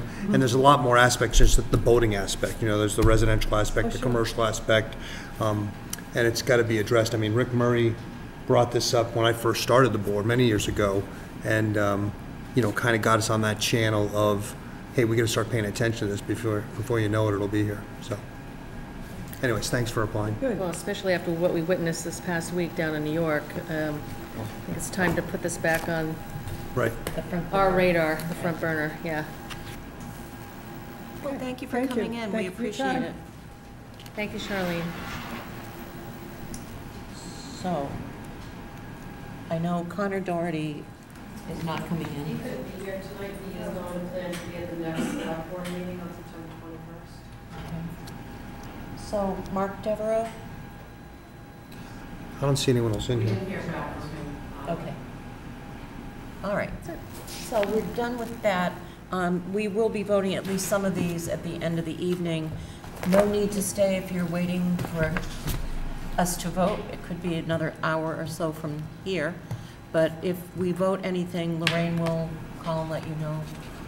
I would like to read, I got a new uh, call, one of my son's brothers just died. Oh, I'm sorry. Sorry, Jack. Oh, yeah. Yeah, oh, no need to stay Of here, that's for sure. Thank It you. looks like you have two positions, I mean. Yeah, we're good. We're good. Thank you. Thank you all very Thank much. you very Thank you. much. Best luck, Jack. All right. Discuss vote, one-year extension of school bus lease. Dr. Robert Dutch. Dr. Dutch, you look look like Dr. different this Dutch. evening. Ms. Holt. Hitting for Dr. Dutch this evening. All right. Where's my thing So the um, three-year lease for the school buses has expired. Um, And the most expeditious way to deal with this is just to have it extended by one year, and that's what um, Dr. Dutch and Superintendent Burkhead did. They approached the current uh, leaseholder and asked if they could just extend the lease for a year. The leaseholder agreed. Um, It's for the same price for one more year, and then in the in the meantime, they will be uh, going out to bid for a five-year lease on these uh, buses. It's the same buses we currently have. Uh, Nothing else is changing. So that's what they were, um, we sent all the documents out to town counsel, asked town counsel if the select board needed to take a vote on the extension, because they voted on the original lease, and town counsel recommended that the bo- board vote on the extension as well. Do they have drivers for all these buses? That I cannot answer. That was going to be one of my questions too, is um, does the student, um, how many students have signed up for the buses this year? You know, is it up, is it down, It- you know, are they seeing kids come back? Um, I, I don't know about We don't kids know coming that back. either, The- The, the, the fees are coming in, so. Yeah. um, Okay. I think tomorrow will be a telltale sign, depending on the Mm. traffic that comes through. So they don't actually know how many people have signed up to take the buses? at I this don't point? know. I'm sure they They know, do. because they would have already had to set their routes. And if they could have released some of the buses, that he would have done that when he negotiated it. That's what I was gonna say. If they, if they didn't need them, they wouldn't have Right. asked for a one-up on them. Um, Nancy, is the, the cost is the same and the impact on the um, shared expenses will be the same? Yes, the uh, cost for this particular lease is 167,000, so it's not the, it's just one of uh, at least two or three leases that they have. This one's only 14 buses, we have about 19 buses. Any questions from anyone? No, it's probably Not not. that a- can be answered. Yeah, I Well, they wouldn't. No offense, It's Nance. not your fault. It's not your fault. I mean, the buses are also very active, not just picking up and dropping, but after-school after stuff. school, Yeah, going no, to sports. absolutely. and, yeah. The return to field trips, hopefully. No, but I mean, seriously, that there's a huge shortage of bus drivers, and if you Yeah. don't have enough Yeah. bus drivers, you might as well not have the buses. But Well, and I was just curious, you know, what we budget, what we budgeted in the school budget for busing, was it the same? Do we anticipate re-signing, renegotiating? Do you know that? Um, I know that they, they've settled all of their contracts except for the teachers. Mm-hmm. So um, those have all been settled. So there isn't anything that I'm aware of that is different in their contractual bargaining. Um, I think, like, everyone that has school bus driver, school buses, they've been looking for drivers as well. Yeah. I've not heard anything anecdotally about, you know, there being a severe shortage. I did hear anecdotally that there were, you know, 47 positions that were filled. So as people have been retiring and there's been movement, I don't know where they all fall. And I don't know how many additional openings are still, that they're trying to fill. Okay. The only thing I'd add, it's probably not the best time to buy a vehicle right now. Um, Don't so exist. I think that's Just with also the a prices consideration. of Yeah. everything is so Good high. point. It's probably a good time just to extend the lease and, Yep. And the availability. yeah. Yep. Right. Would you like a motion? Yes, please. Move that the Select Board extend for one year the 2018 lease with Wells Fargo Equipment Finance Incorporated for 14 2019 school buses. Second? Second by Mr. Vegnani. All in favor? Aye. Motion carries four to zero. Thank you. Thank Ms. you. Holt. Next, di- discuss vote declaration of surplus miscellaneous harbor master items. Mr. Petro. This is really just a What's lot of the list? stuff that's, there's all kinds of stuff, on stuff that's been piling up at the harbor master's office, uh, stuff that's been left, stuff that's theirs. Uh, I know the fire pump has already been given to the DPW, they'll use that to pump out catch basins and stuff. And I think they've taken one of the generators, but, uh, this is stuff that's been basically taking up space in the harbor master's building forever. Uh, We'll put them up on our auction website and get the best price we can and just get rid of them. Sounds good to me. Sounds like an efficient garage sale. Um, Andrew, any questions? No, I'm, I was going through the, Looking The for list. something? No, yeah. Paddleboard, perhaps? Maura, you can replace your shackles. What? They've got some on the auction block here. Well, Let's me see on. what you need re- replacing here. The chain, perhaps. Anyway, yes, Tony, do you have anything? Mr. Vegnani, would you like to That's make a my only motion? comment. All right. Yes, I would. Move to approve the disposal of obsolete harbor master items in a surplus auction. Moved by Mr. Vegnani, second, Second. second by Ms. Curran. All in favor? Aye. Aye. Motion carries four zero. Thank you. And where will people be able to see this stuff, Jim? We have an online auction site that we use. Yeah, when, like, if someone's interested in outbidding more on those, Yeah, it'll Jewelry. take us a while to get pictures of everything, so it'll take a couple weeks at least. Will Stephen blast it out on his constant We'll- contact We'll blast it up, yep. Okay, And he'll put it out too. it'll be on the website, I assume. So, next. Up, discuss vote accessory dwelling fees. Mr. Cafferty. Uh, Kevin should be coming in. Let me go, please. Are we ahead of time, is that why? A little bit, yeah. You're moving along. He he usually watches, but he'll be coming in. Um, Probably not the best title. It's not really for accessory dwellings. Right. Accessory dwellings, we already require a connection fee. What happens is, uh, people will do something less than an accessory dwelling. They'll put a bathroom, a toilet, and a sink in a garage building.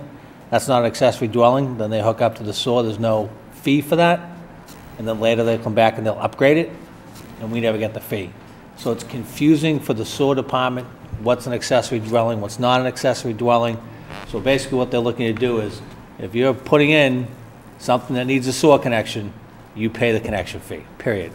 And eliminate the confusion with the planning board and the, the zoning article as to what is an accessory dwelling. But the idea is, if you're building something that has a water or sewer connection, there's a fee, period. Right.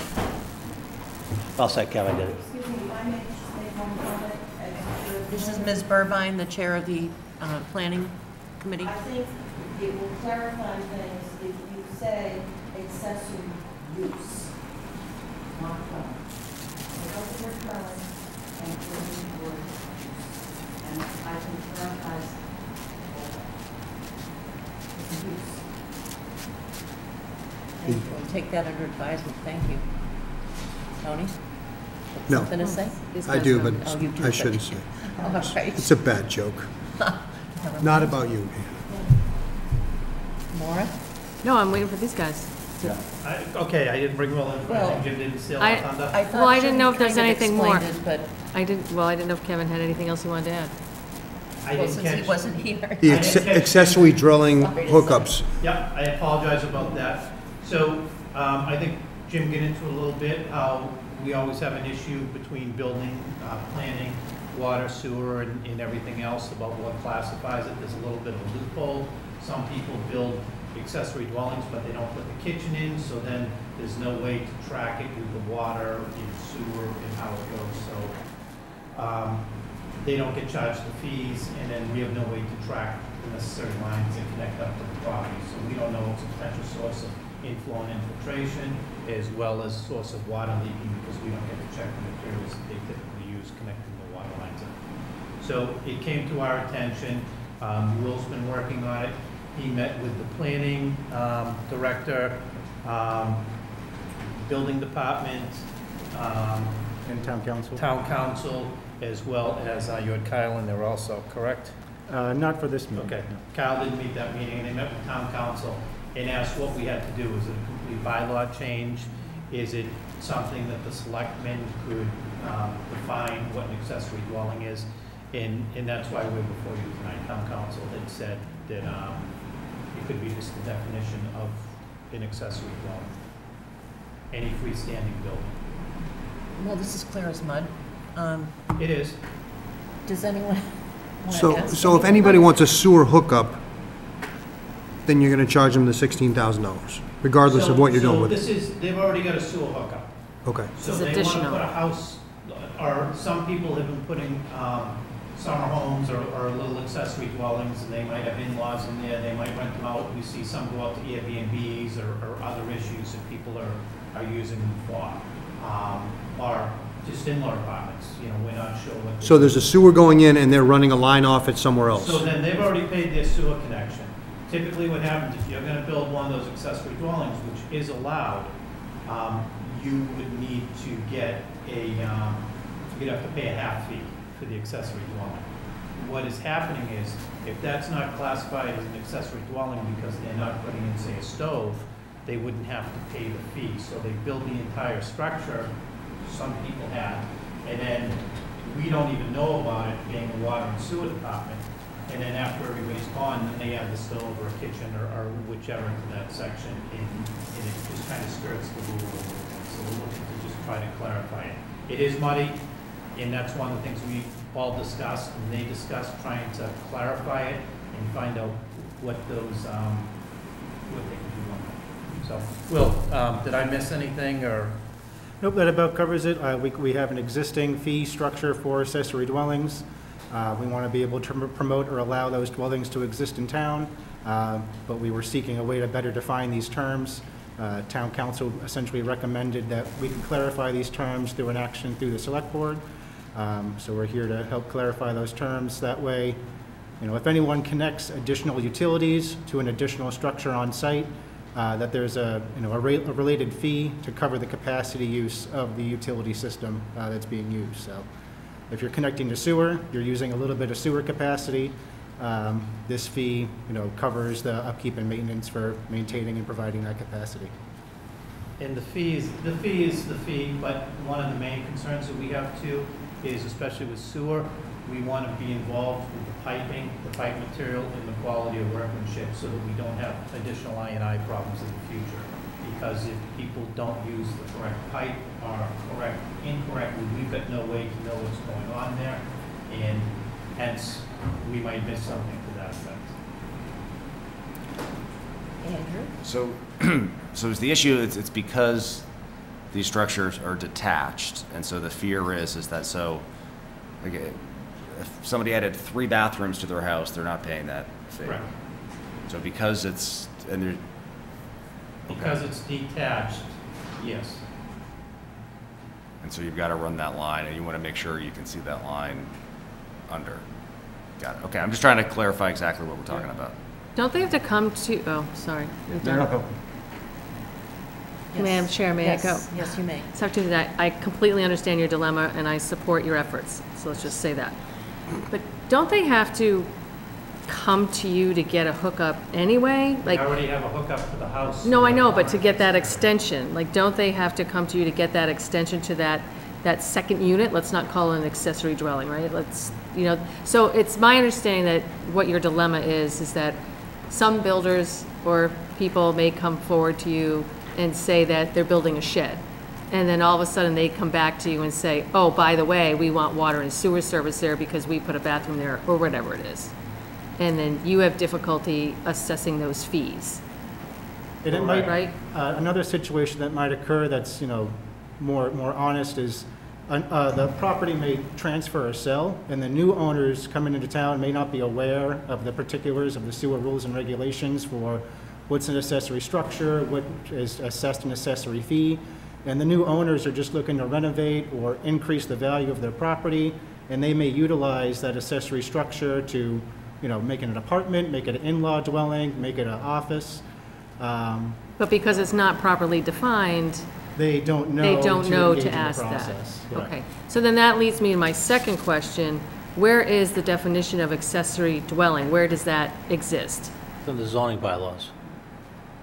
You So. should have a copy of it in your packet. Yeah, no, no, I know. Yeah. I, I have that, I read it. So if it's in the zoning bylaws, isn't that a bylaw change to change No, the because definition? the- The by, the definition I remains just the want to, I don't want to do this and have it We come back already- and bite us, people that's all. who- People who want to do an accessory dwelling from the get-go, go through the process, file with the planning board, pay the fee. Got that.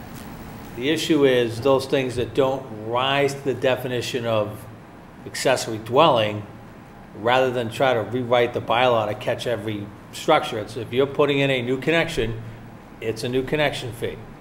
I mean, we do have a situation right now where uh, one property has four dwellings on it.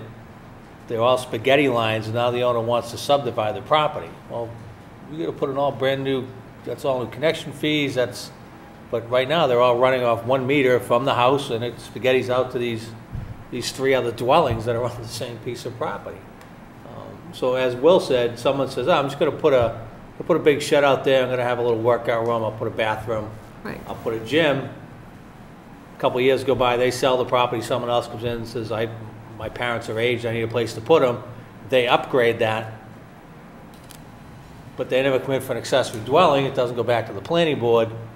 We're getting more water, we're getting more sewer, they've never paid a connection fee, we have no idea what that line looks like, what the use is, so right now it's just gonna be, if you're putting up a second building, or you have a second building, you wanna connect it to water and sewer, you're gonna pay some sort of connection fee, the water and sewer department's gonna be aware of what the piping is, what the connection looks like, and everything's all nice, done, and, and we get our revenues back, as opposed to what we're seeing now, where that's an accessory dwelling now, but it never went through the process, just kind of morphed into an accessory dwelling over time. Mm-hmm.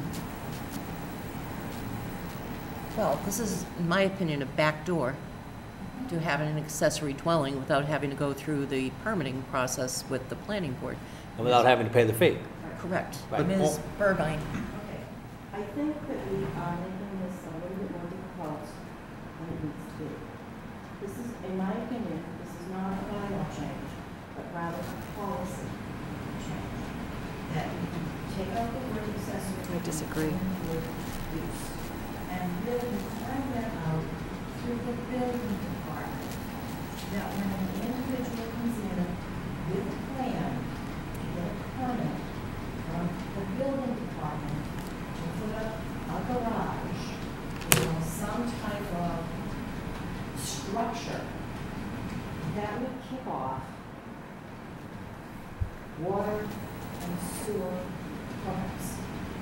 It's not an accessory apartment, it's an accessory use. May I have a follow-up question Yes, to of that? course, of course.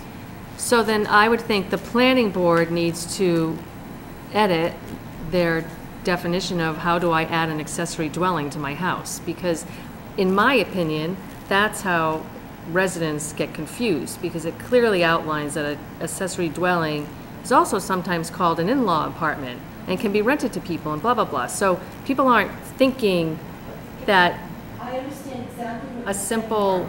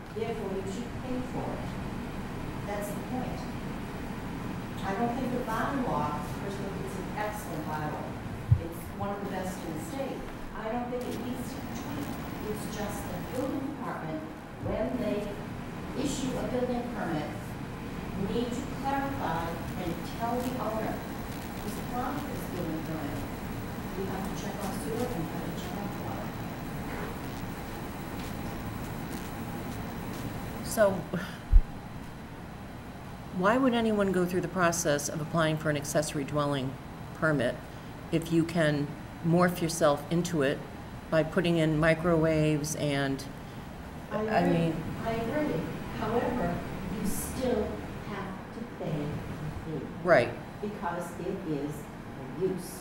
right, So regardless of whether or not it becomes an accessory apartment, the use of this structure means you have to, to sewer and water. You can't just run it from your house. I know it's clear as mud. Well, where's, where, where's a copy of the, the policy that we're, we're editing? That's what I don't have. I don't know where we're editing. So I think this would be, had to be a new policy. Okay. all right. We have to draft it up yeah. for you. You can't vote on it as a policy, you can't vote on it tonight anyways. Okay. Your policies on adopting policies says you have to wait another meeting to vote on a policy. Yeah, because I don't even see, I mean, and that's the confusion, right? We don't even see what Bob sees to implement the current policy. So if we can see that, we can review it and vote on that edit. Well, so if someone were to do one thing versus the other, the, the dwelling versus the accessory use, are they equally, are they equal in terms of the fees that you would have to pay? Or is there an advantage to The fee going in half the a back door? connection. It's half. It's a half connection fee. It would be half anyway. For both? That's her question. It would be for both, yes. So it would be advantageous to go in as a use versus a dwelling. Yes, because then you skip that half fee. Well, so I'm just looking at what, Wait, wait, no. No. Dwelling is the same. Accessory dwelling's the same as what Ann's saying. If you did a new dwelling, that'd be different. I would, I would use it. Yeah. You put up a garage, a garage, then you have, the use is such that you would pay the water sewer but did you just say half? It's half. Yeah. So It's half for an accessory and it's half for, Be the same for a use or an accessory. That's what I'm at, I'm, I- that's where I'm That's trying to what get we- to. That's what we were asking for, this clarification. Got it, got it, got it. And I, I if just don't want there to be a way to avoid the accessory dwelling, all the, there's a lot of inform, a lot of restrictions. Yeah. And so Right. if, if, if we let people go in the other way, I just, If you let them go in the other way, they'd still pay the fees, and they're li, they're liable to go in there now anyways. and then it would be up to the building department to say, all right, this is kind of tipped over here into a dwelling It versus. just clears, it clears up, and I, I agree with Ann, that the building sees it. They get the permit. If they put a permit and they want water and sewer, then they have to pay. Yeah. And there's no, there's no debating over whether, what they're gonna use it for. It's just, yep, you gotta pay. Have water and So the sewer. confusing here is it says half sewer, but it, it says is it a full water? It would be half water also. Okay, so we've got to fix that in there. But Morris, right, we just got to get the piece of paper that says whatever policy we're going to agree to and close out, close that loophole. Half water, It's been full. full water. Full full water for an accessory dwelling? Yeah, although we take them as a case-by-case basis. If it's a small addition to the existing house, um, and all of the rest of the utilities are being used for it, I allow them to use water for that. However, if they, it's a separate dwelling, a separate unit, we would require them to pay a connection fee and run service. Um, And that's, really, the main reason for that is, now with our, our new higher tier structure, if they don't do that, they're gonna end up with a lot larger bills moving forward. Right. Right. I would suggest that we try and wrap those, both those things up in this policy, that, so it's not you deciding whether it's kind of this way or kind of that way. That's The clearer we subjective. can make it for you, the easier as well. Although monetarily, you're right, if they want to keep it, they're just going to jump up a tier and pay the same amount anyways. Or more. Um, All right. Any questions or comments from the audience? All of us? I think I said what And if I could just say, we brought town counsel in to try to make it less muddy. I I know it's muddy, but um, we we brought her involved to try to clarify. Yeah, she was, um, she was at the table. All right. Anything else? Anyone? So we're just waiting for a policy now Get that we can policy, pick bring it apart. back to the next meeting, yep. So again. That's good. Change the word to juice. Utes, We got it, Ann, we got it. utes. Utes. Now I can go home. There you go. Bye, Ann. Thank you very much. Thank you, guys. Thank you. Yes, thank you for coming in. I think Kevin's up next, yes? Yes, Water Kevin and report. Sean, we will, we're Water gonna report. do some updates on where we are with some of the water and what's going on. Um, If anybody watched Jim's update, we're repeating a lot of the stuff that he had um, in his weekly update today, but we will, we will go forward. Um, First of all, I, I want to reach out and and thank the water department, thank Sean, Eric, all the operators, all the guys and everything, they're doing a great job. Um, You know, we had a storm come up recently and people, you know, think more about what we're doing along the coast and what we're doing, but as soon as we started getting the weather reports and things were going up, Sean was talking to me and said, you know, I'm worried our reservoir's full, and we started opening the gates to release water so that, you know, we weren't overflowing. As it turned out, I think we had four point five or four point seven inches of water. And we had space for that water, but we still had water way over our elevation height. So that gets us nervous with all our dams, we've got earthen dams, we've got the culvert at Old Oaken Bucket, which is supposedly the oldest culvert in the country. Um, and we were just releasing water like crazy. I know between all of us, we spent a lot of time over the weekend coming in, checking on the dam and unclogging things and, and everything else to make sure that we had the water going. We also worked with some guys in the Historic Society, um, where they have their mill, the grist mill, we opened that up too, and we were letting that flow completely just so we could get the water down. We were really worried about it overflowing going up the road there and any damage that it could cause, as well as people's houses, so, um, Thank we've you. been working hard to take care of that, and and they really did a good job. So I want to thank them for that, and Sean nice job. That being said, our reservoir at Tack Factory pond, we are still five point five inches over its level, so we've got plenty of water, which is unheard of at this time. Um, Treatment plant's doing about four hundred and fifty-nine thousand gallons per day. The wells are doing eight hundred and fifty-eight thousand gallons per day. Um, Average is one point three. Um, I talked about the rainfall, the actual number was twelve point four four inches. Um, The construction projects are ongoing. The main focus has been to work on Old Oaken Bucket Road. We're trying to complete that, and the contractor has two crews on it. We kind of pulled the contractor back because they were gonna start one crew on Brook Street and start running that, but with Heritage Days and the summer still here, we held them off on that and put them both on Old Oaken Bucket Road just to slow them down a little bit, because we didn't wanna have that going on while everything's happening this summer. Um, in the near future, we found we have a broken well up uh, not well, a broken water gate over by the Lucky Finn on the Front Street. So coming up in the very near future, on a Monday or Tuesday night, we will probably be shutting the water off in that area late night and doing repairs and removing that well, that gate from service so that we can shut down Brook Street without taking everybody out or causing problems in the mainline system. Do you have to Um, dig up the road? We will be digging up the road. So you'll put the steel, is it Front Street? It's on Front Street, we'll put steel plates on it. Um, What we'll probably do is dig it out, maybe that day or even that night, prep it all up, and we'll do a water shutdown probably that same night. Um, We'll work with some of the restaurants and everything else to make sure we're minimizing the effect and um, turn that around and replace that. Um, We are not going to replace the gate, we're gonna put a spool piece of pipe. We're just worried it's gonna blow apart sometime in the very near future, and we don't want that as a, as a front. Will there be brown water as a result of this work? We hope not, but we would always put out the alert that there could be brown water. Um, You know, we'd like to say no, but, you know, we always, anytime we disrupt the system. Yep. Um, And what was the date of that, Kev? We don't have the complete date yet. We're taking care of some other issues first.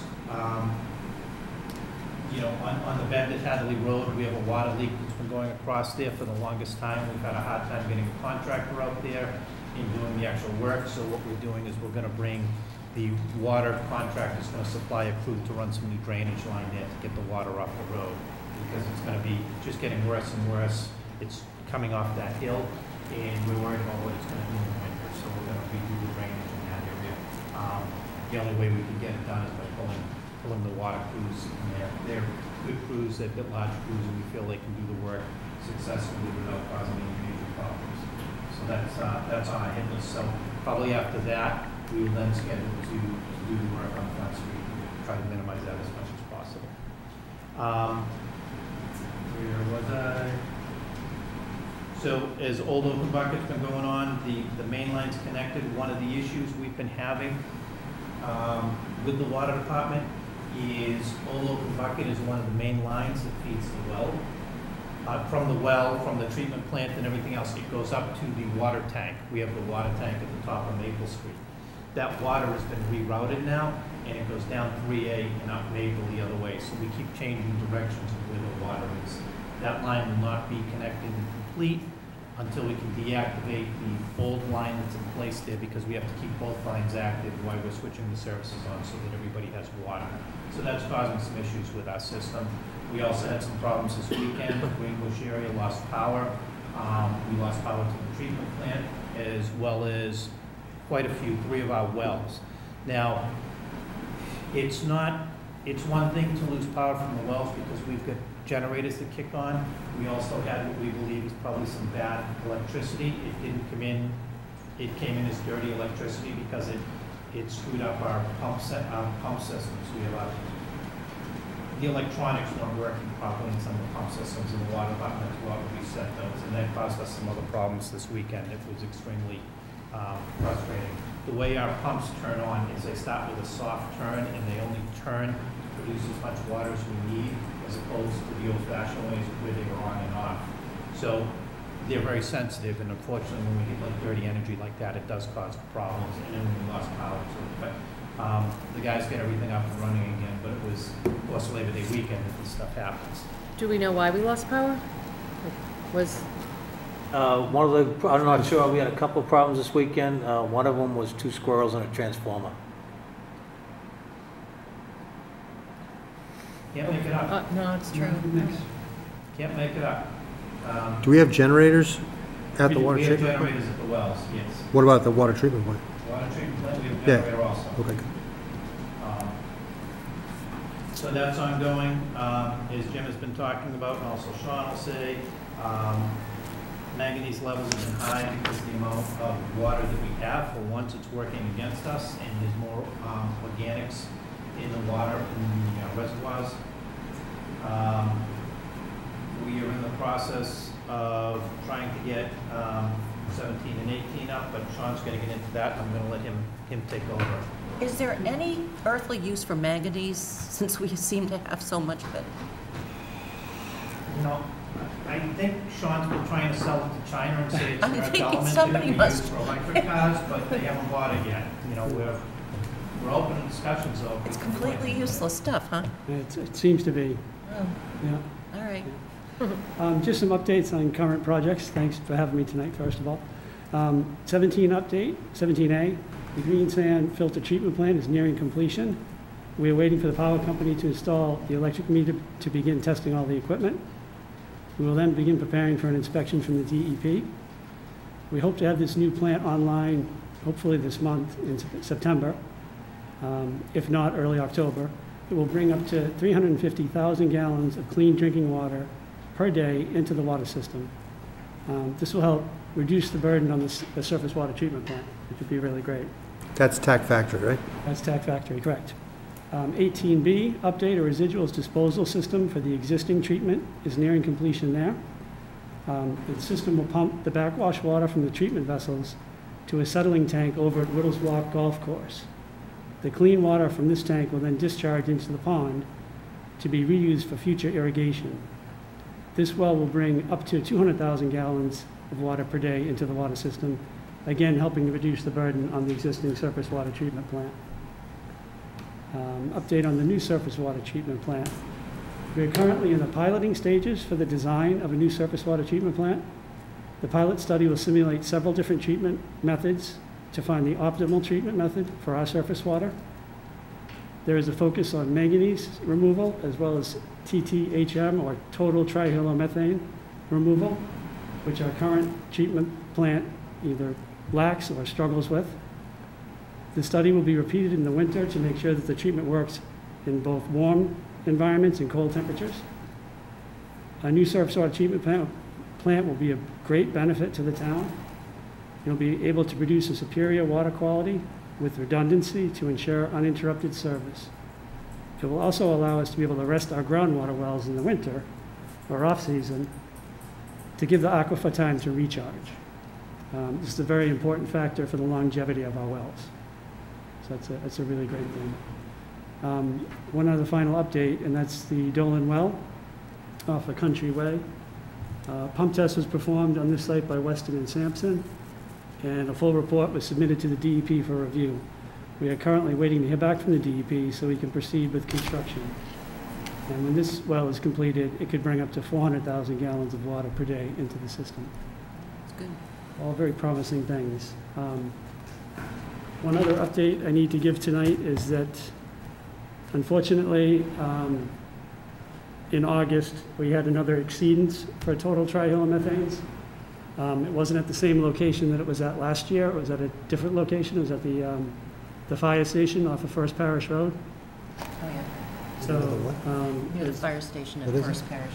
A, a, a, um, the fire, uh, the fire department on First, First Parish, off yeah, of the, First the Parish. level of chemicals were detected there. They were detected in a different location before. Gotcha. Yeah, um, I believe last year, uh, last year it was the Village Market, uh, the exceedance last year. Um, And then just some, some general background on trihalomethanes or TTHMs.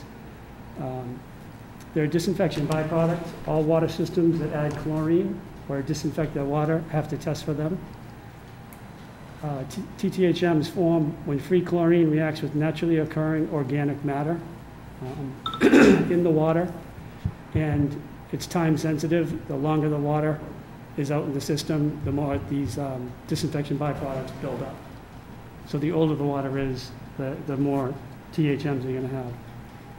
So one of four samples taken on, excuse me, on August 3rd came back at 82 parts per billion.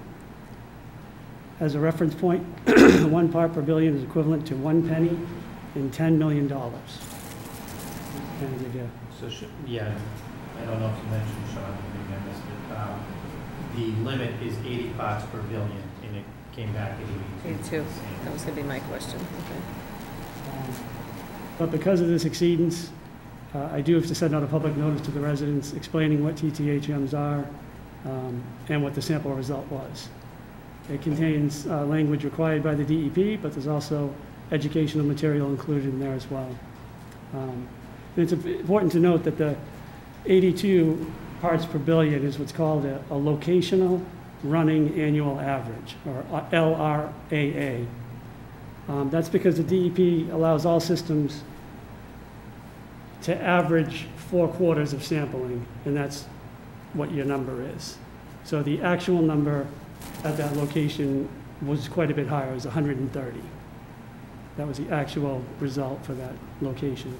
But it's also important to note that it all depends on where our surface water travels versus where our groundwater travels in the system, since we're a blended system. Because our ranges um, were from 6.2, so single digit, 6.2 to 130. So if,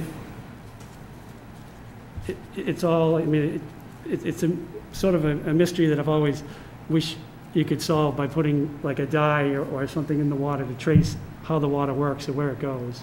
Um, usually I get a lot of questions after this notice will go out and everyone wants to know, does their house have it? Yeah, right. It's hard to answer that question as hydraulics change, flow changes. As Kevin mentioned, construction projects change the way the water goes through town. Um, And then also, after we shut the plant off at night, all night long, the wells run, and that shifts where everything's going as well. What was the date of that? Because I think it's important too, when you send out um, your public notice, that you may not get that notification until 30 days later. Because I do remember last year when this happened, we got a lot of pushback as to why we didn't notify residents sooner. So I think if we include in our communication why you can't, because you don't get the test back for X amount of days or whatever, so that would be my only suggestion. just To make sure folks understand that you're notifying them as soon as you were aware. We did revise the notice quite a bit from the last one that went out, um, from lessons learned and from, honestly, from looking at other water systems um, that have surface water. I looked at their websites and looked at some of the violations that they had posted, um, and uh, took some pieces from other, other departments.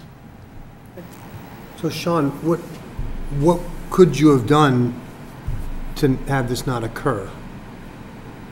That's a good question. Um, it- The rain, this, this summer's weather has been a blessing and a curse. Um, We've consistently gotten rainfall, so we haven't had to pump nearly as much water out of the surface water treatment plant as we have in previous years. However, the organics in the water are almost twice as high as they were a year ago. Um, We know this from the testing that we do every, every month, raw water and finished water at the treatment plant. And my chief operator in over 10 years has never seen the numbers that we're seeing now. He on rare occasions would see a teen number, maybe a 13 or, or 14. We're in the low 20s right now. So uh, just to, to explain, that's, that's the organic content of, of the Of- water, of the how water. much organics are in the water themselves that we're treating. And the treatment plant's actually been doing pretty good because I think you're telling me it's between seventy-three and eighty-three percent removal. Yeah, they require that you, as far as your organics go, the monthly sampling I was just talking about, all surface water plants have to have at least 50% removal. Um, For the month of August, we had 76% removal. For the month of July, we had 81% removal. The average citizen's gonna get that note, and they're gonna say that my water is toxic, right? There's something in there that I don't want my kids drinking. And what's our reply to how, again, how could, did we use too much chlorine? Did we not use enough chlorine? Like, if you knew that that was gonna happen, could you have changed the way we process water so that we stayed below that limit? Unfortunately, the way that, the, the plant is flawed by design, um, meaning we have two spots where we, we, we, we put in chlorine to kill viruses and to kill anything in there. Um, That's, the first place it goes in is in the sedimentation basins, and that's not where you should ever be putting chlorine. Um, That's because that's where all your organics are. That's where you're trying to get everything to settle out. So by design, the plant is flawed.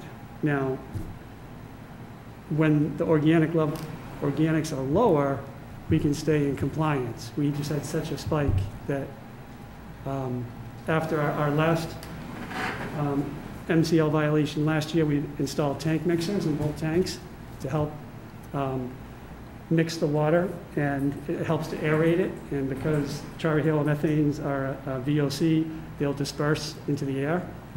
Um, And that helped us greatly. The previous three quarters, um, we were not in any violation. Our numbers were very good. Um, This quarter, August is, is always the hardest month for surface water treatment plants. Can I, can I say something on that also, Sean? Yep. So one of the things, Tony, that we're, we're looking at doing, and we're talking about scheduling, is changing our organic carbon. We have carbon that runs through a filtration system. Typically, the carbon can last five to seven years. I think we're on, uh, probably about did it in 2017, a full replacement. so we did a full replacement less than four years ago. We're planning on doing it again. We're gonna do the carbon earlier. The carbon does a great job of filtering everything and getting it out, uh, and carbon deteriorates after time. We're gonna do that early and, um, see how that works also with the, with filtering any of that stuff out, if that makes sense.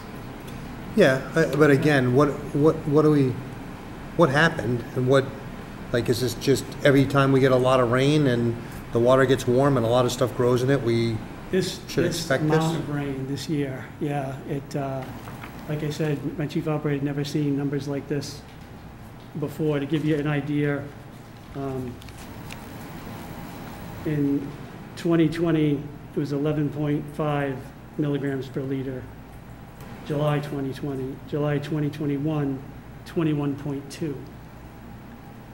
Um, In August 2020, it was 11.6 milligrams per liter. August 2021, 21.7. The, the numbers are so large that even though we're getting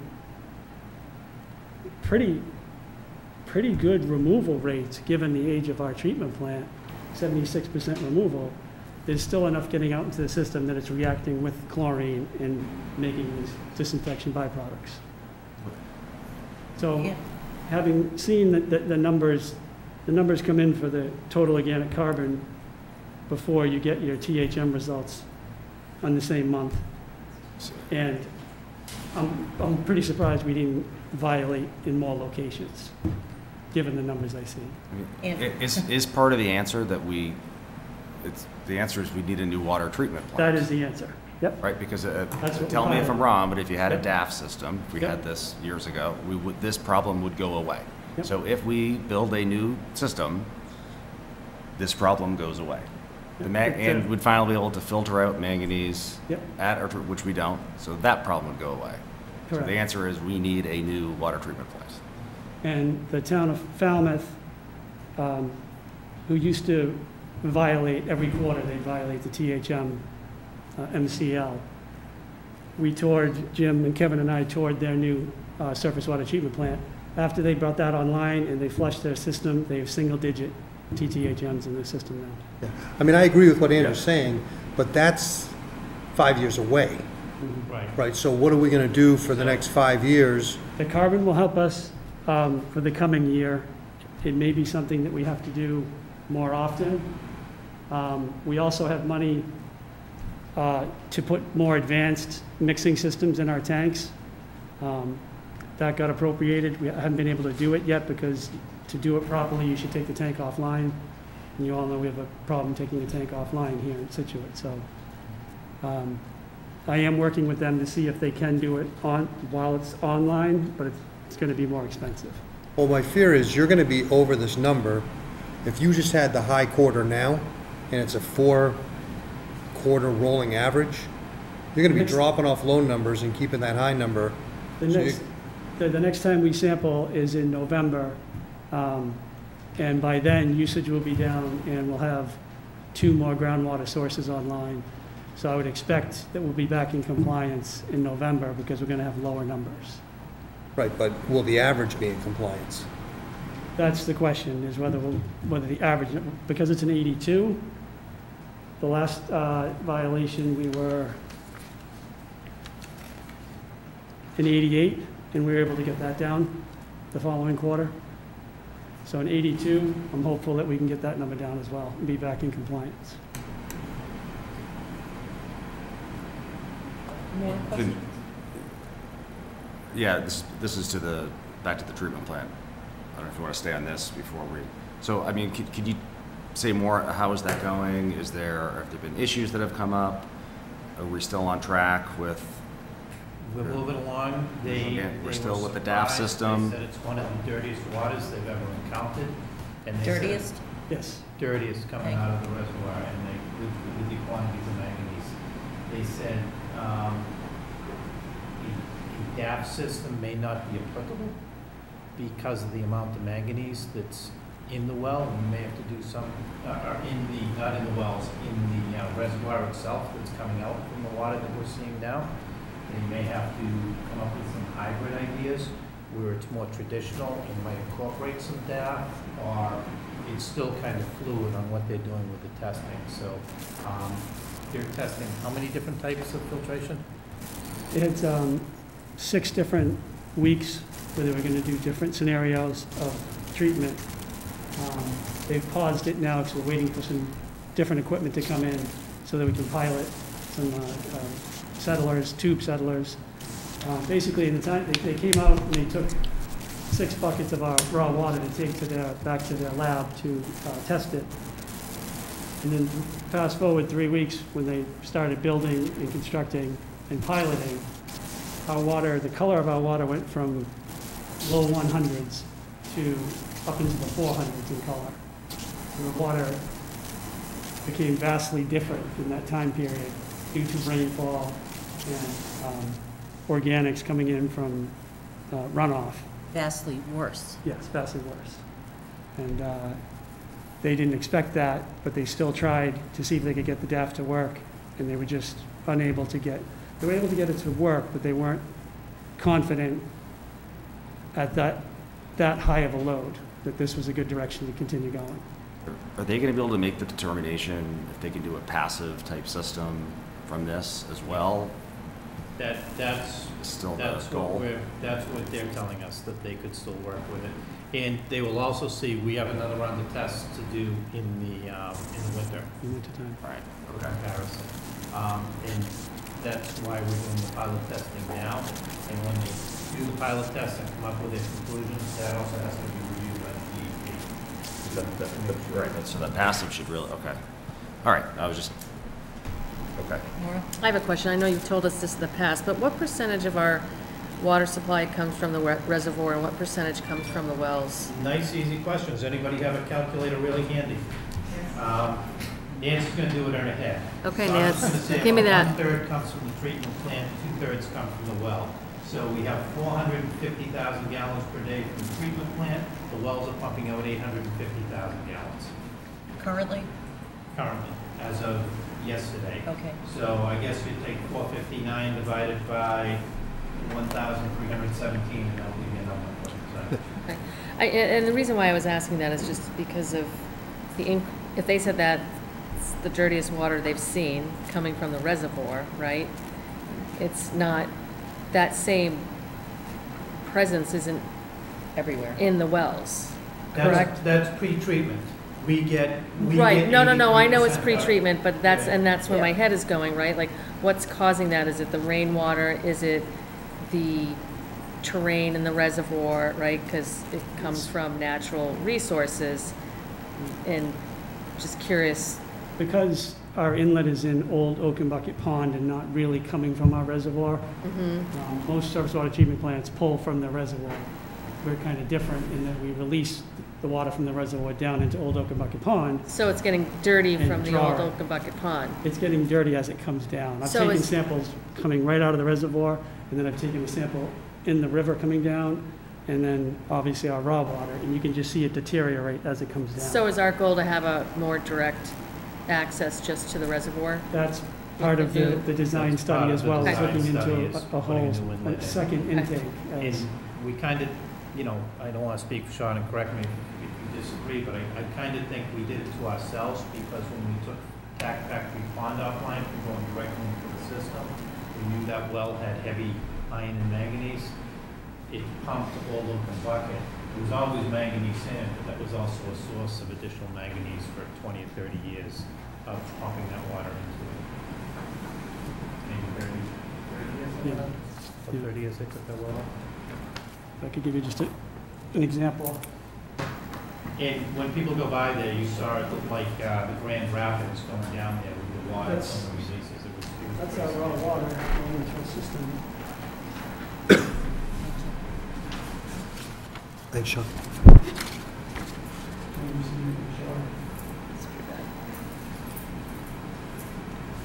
Well, sooner we can get that done. Yeah. Thank you, Any- Sean. Any other questions, observations? Thank you. for Thank you for coming in. Thank you. and uh, Appreciate it. You know, we could go on and on talking about water for the rest of the night. Yes, we could. And we'll have Will The back. good at news the is the plan is in the works, so. Next meeting, we'll have Will back to give us an update on our Oceanside INI study. So Oh, Okay. good. we have that ready. Be very excited. Great. Thank Thanks, you. Sean. Thank you, Kevin. Nancy's back. Debt management of capital needs. So I will give the board three options. One, we will move forward with the presentation. Two, we can delay the presentation because you had three meetings this week. And three, you have the option of doing everything else on your agenda and circling back to the presentation at the end because you're running ahead. What is the board's pleasure? Meantime, I will start with the presentation, assuming you will be the first. How long's the presentation? Uh, It's debt, so I love to talk about debt, so we're talking 30 to 45 minutes, depending on your input as well. And then we just move down to two and three. You can just tell by looks on your face. Appreciate that. So this is a 45-minute presentation. I think with your questions, yes. It's up to you. It's 30 slides, it's in depth. All right, we, we do have two more meetings this week, and I thank you for, Options? yes. Um, Is there any um, pressing need to Nope. do it tonight?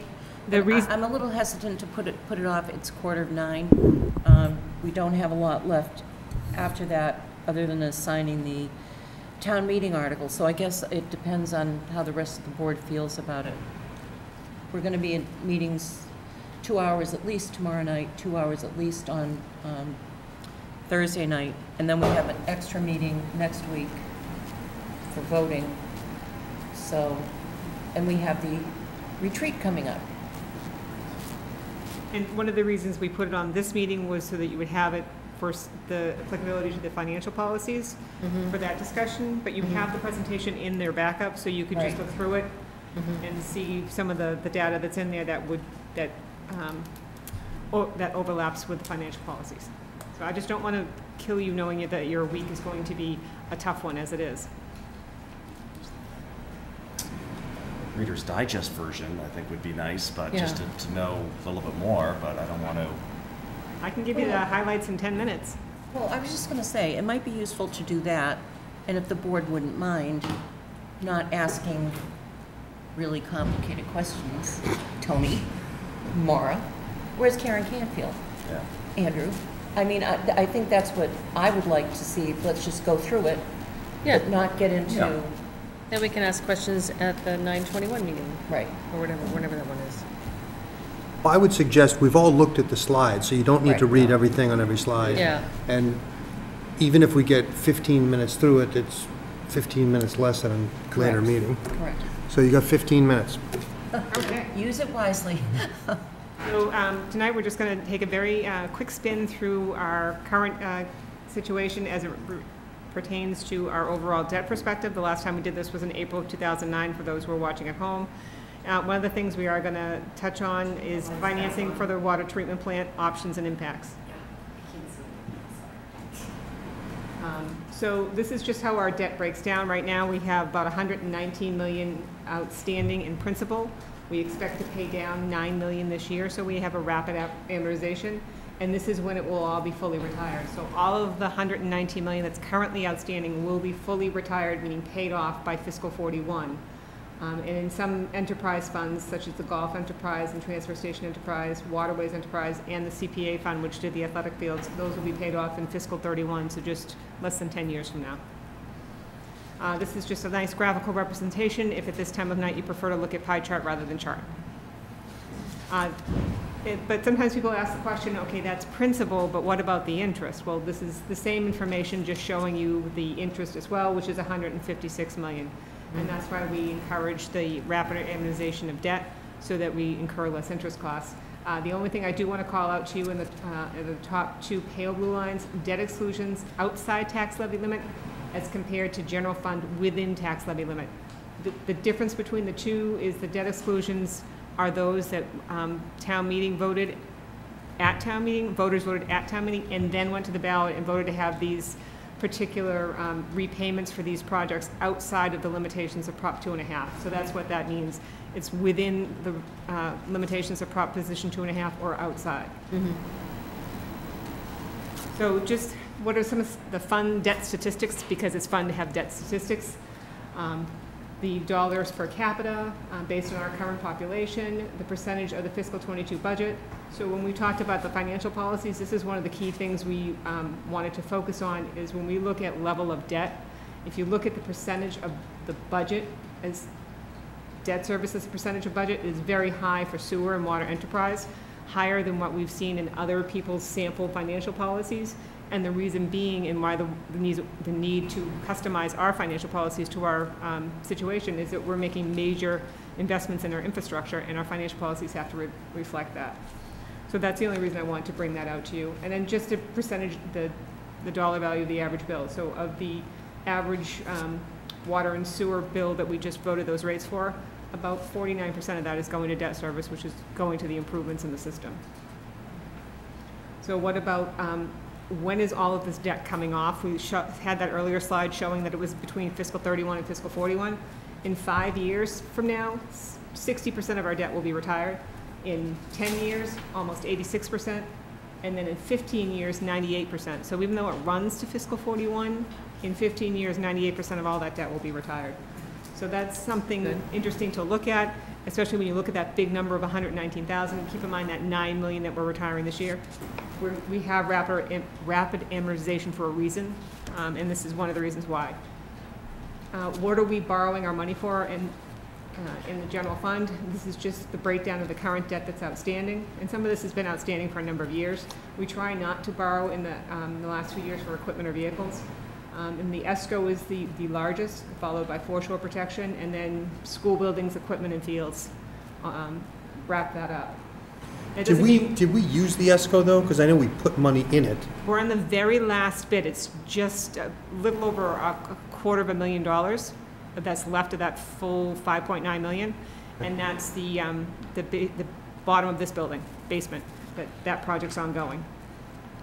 Uh, Again, just a pie chart, if you get a little tired and want to look at pretty colors, put it in there. So what's left that's outstanding right now that's been authorized? Not that much. We have the $2 million authorization for um, seawalls and uh, foreshore protection. That's from 2015, that's never been allocated. That was a a petition, so that's uh, like our safety uh, allocation. We have the FEMA foreshore design of 3.5 million, which we only expect to issue another 500,000 because that's our 25%. We had to approve the full amount, but we only expect to use uh, the 25% of it. Um, The septic loan program, which is supported by betterments, and then um, the land acquisition that Jim spoke to at the beginning of the meeting, which has just been completed, uh, that's uh, outstanding. So probably about another 1.85 million will be uh, issuing between the, the items in red.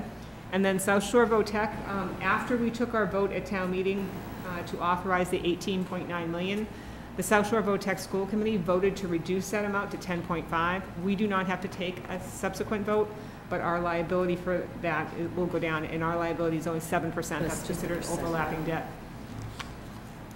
Um, What are some of the big things that are coming down the line? Um, On the general fund, it's going to be the FEMA subsidized uh, foreshore st- storm damage repairs. We still have four open disasters.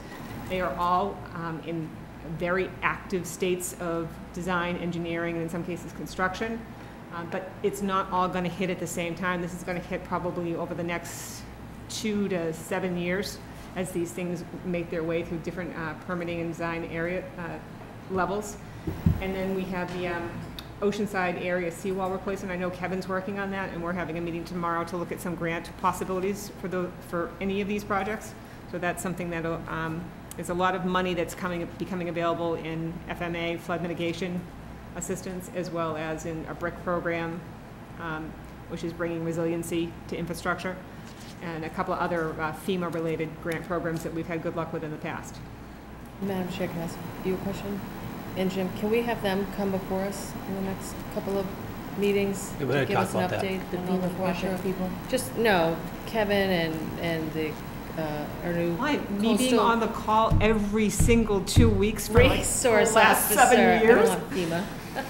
No, no, I- but I was meaning the projects that would be funded. Yeah, and this not even debt. just FEMA, but yeah, yeah. I can always tell when Nancy's on. my heart. Yeah. I I can always tell when Nancy's been on a FEMA call, her eyes just go blank. and- It's a special Yes. kind of joy. Yeah.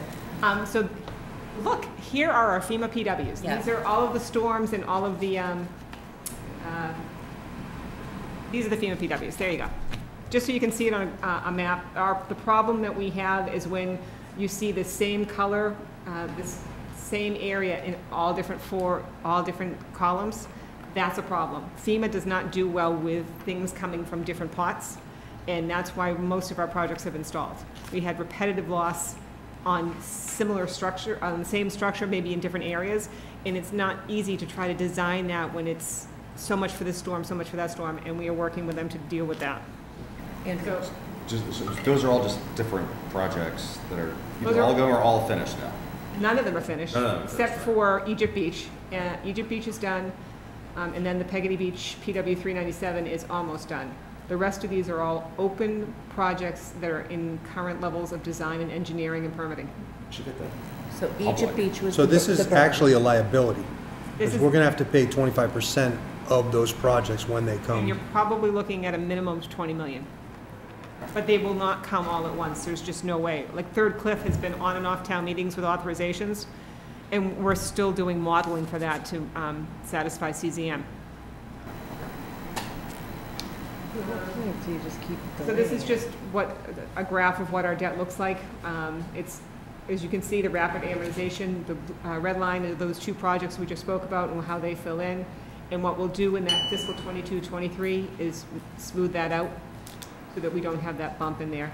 So when we retire debt, we backfill it with new projects so we don't lose the ability to um, maintain our capital plan.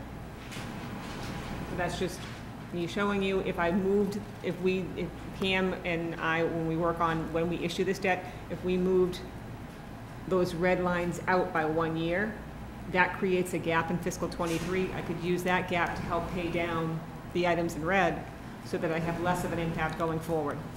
So it, it's very interesting for structure, very boring for you at nine o'clock at night. So moving on. Um, This is just, we're gonna go really quickly through the different enterprise funds. This is Widow's Walk and what's going to be going on with it, um, with the additional seven hundred and seventy thousand. Everything was good. We added the seven hundred and seventy thousand at the last town meeting so we could do the parking lot and, uh, finish the clubhouse improvements. What we wanna do now is mitigate that impact of that seven hundred and seventy thousand on their debt. See how it, in fiscal 24, 25, depending on when that goes out, it starts to bring it up above the level where we want it. So we wanted to start looking at, as we roll that note, making payments on it to get it back down where we find it to be a manageable level. And again, you can see the impact of the irrigation system if that were to hit in 32, 33. So now that we know the impact, we can start planning for how we can make that a more manageable impact. Transfer station enterprise, uh, we have a loader that's outstanding. Um, It had retired all of its debt, now it's picked some up because of the yard jockey. Um, And we have a backhoe that's proposed for October STM. None of this is anything new, it was all on the capital plan, some of it's just moving a little bit faster. And again, this is an enterprise fund that maybe we don't necessarily want it to, we would prefer to pay in cash. Um, Depending on when our retained earnings get certified, we may be able to do that with the backhoe and we wouldn't have to bring it on as a debt item.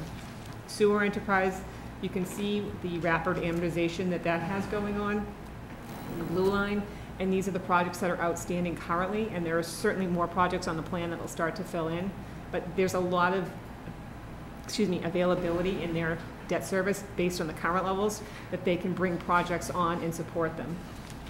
Water enterprise, the Water Enterprise also has some retirement of debt, but because there's been so much infrastructure brought on so quickly, um, and all of it was necessary, their level of debt doesn't retire at the same level as the sewer department, so their debt picture just continues to get bigger, uh, larger and larger, and which is what the board knows from the rate um, discussions we had, because we're increasing rates because of our debt service. And this is what it looks like. Um, But it's all necessary improvements that need to be made. Uh, Waterways has declining debt. They don't really have a lot on their um, five-year capital plan as yet that would fill this in. They've been trying to do most of their things, uh, most of their projects with cash, as well as they've been very successful with their grant programs. So the biggest thing they have going on right now is a million-dollar dock replacement, and they're uh, looking for a grant to cover 75 to 80 percent of that. Uh, The current debt exclusions, this is always in the, everyone's mind. There's um, 62 million outstanding. Those are the years they retired. Those are the projects. So the senior center, 10 million of it has been borrowed. Um, It will be on the tax bills this year. Uh, What we have currently outstanding is 8.8 million, so we got a really large cash premium, so that helped reduce it. So even though we borrowed 10, we only have to pay back 8.8. This is what our debt exclusions look like in a graphical format. So as you can see, there, there's a little bit of choppiness there. And um, see in 20 and 21 how it dropped. We've discussed with the board in 2019 if we borrow the senior center in two pieces to try to level it out, or if- if the board would prefer to give taxpayers a little bit of a break.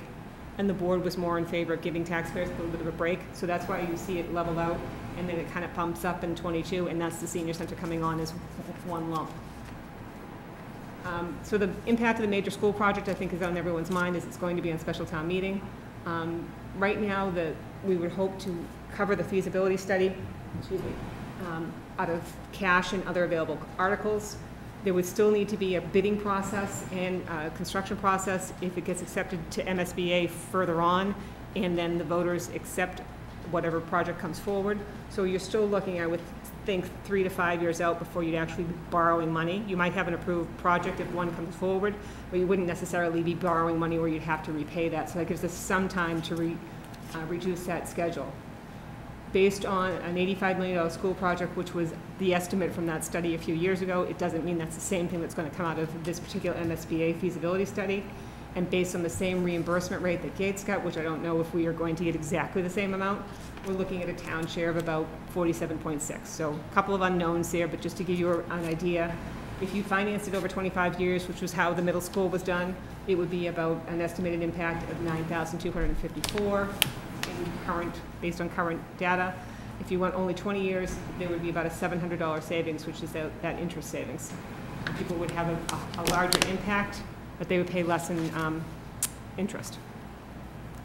Can I ask her one question? I know you don't really want us No, to it's ask all her right. questions. I'm going real quick. Did We're you almost have- done. Did you have, the? I, I was just trying to go back to your chart. Did you have the potential water treatment plant debt on your chart? You didn't, right? I might I was looking at have. the colors. I didn't see. No, these are existing ones. I do have it coming up. Okay. Uh, let's see, Oh, and there here it we are. is. But you had that as a debt exclusion?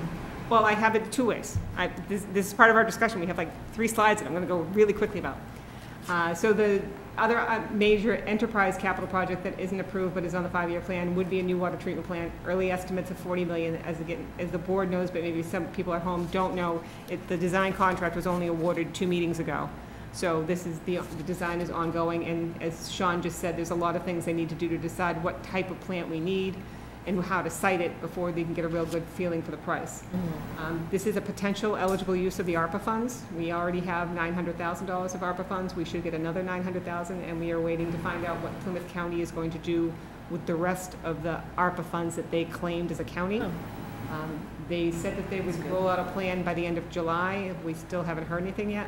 So we don't know if it'll be based on population, if it's going to be an application process, or if they're planning to do something else with the money. So we have yet to find out. We also have the Clean Water Trust that we could go through. Um, Again, some potential FEMA grants or other resiliency grants that may come out of the infrastructure plan. And there's two different ways to fund this, on the water rates or as a debt exclusion. Um, It wouldn't be the first time that a enterprise fund project was done as a debt exclusion. We just retired in fiscal '21 the sewer plant upgrades.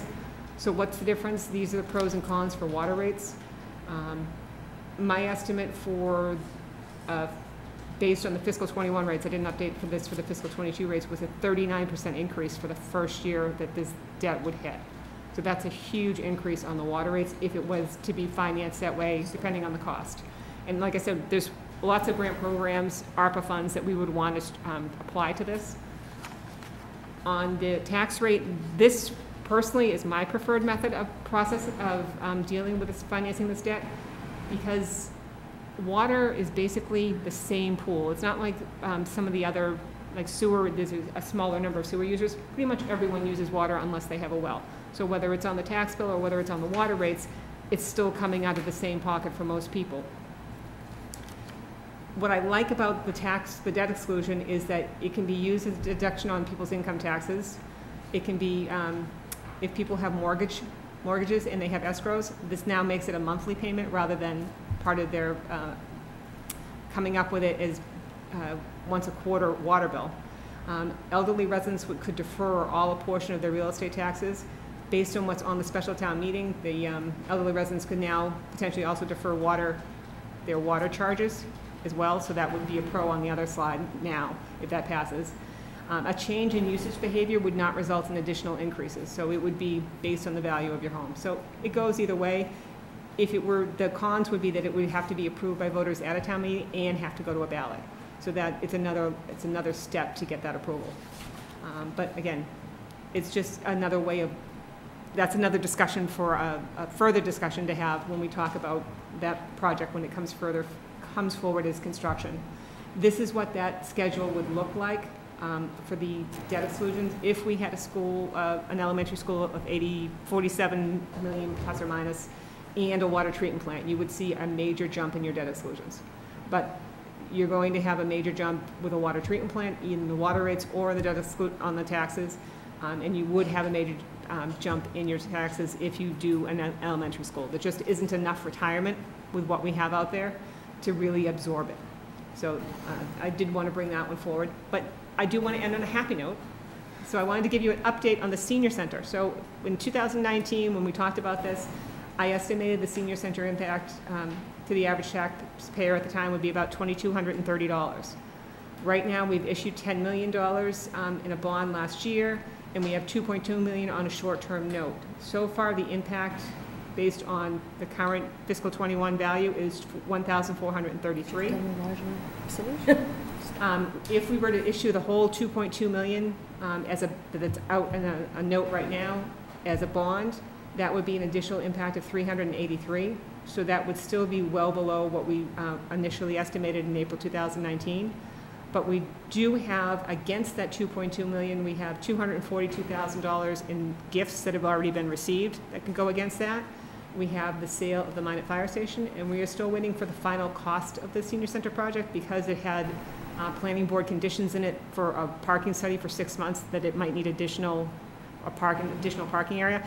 It's gonna be a while before that project closes out and we have final costs. So, and we'll have this discussion closer to the time when it comes for that December BAN to mature, whether the board wants to roll that BAN and not um, issue it as a bond to try to give it more time to retire, because we also have the discussion about the senior center, old senior center, what to do with that, um, depending on what the board decides after the old Minot, Minot Fire Station sells.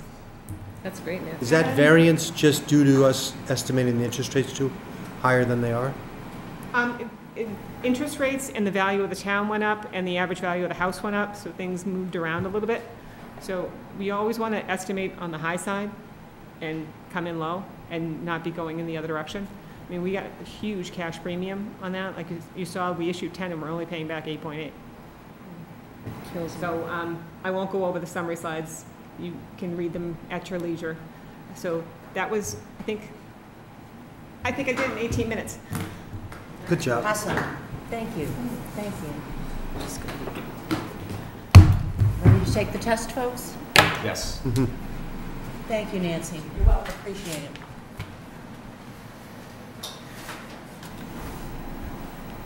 So on to old business. Discuss vote assigned special town meeting articles. Jim, are you with us? I'm still here. How would you like to go through it? You have a recommendation in here. as to what's up, what's on. Yep. Um, Some recommendations that you might want to delay votes, Article 4 on the Hatherly School feasibility, uh, Article 5, the capital improvements until capital budget meets. Again, these are up to you. Uh, The planning board is having their public hearing on the petition articles Thursday, Uh, so they'll be coming in, so you might want to wait and have a discussion with them. In Article 6, community preservation, we still haven't heard what they're going to be doing, particularly on the Border Street project. I guess they're hearing something on Monday night. That's what it looks like. I think what's going to come up on that, just from what I've been hearing, is that they might fund a portion of it, and then it'll be up to the board, if you decide you want to exercise your option, how we're going to come up with the balance.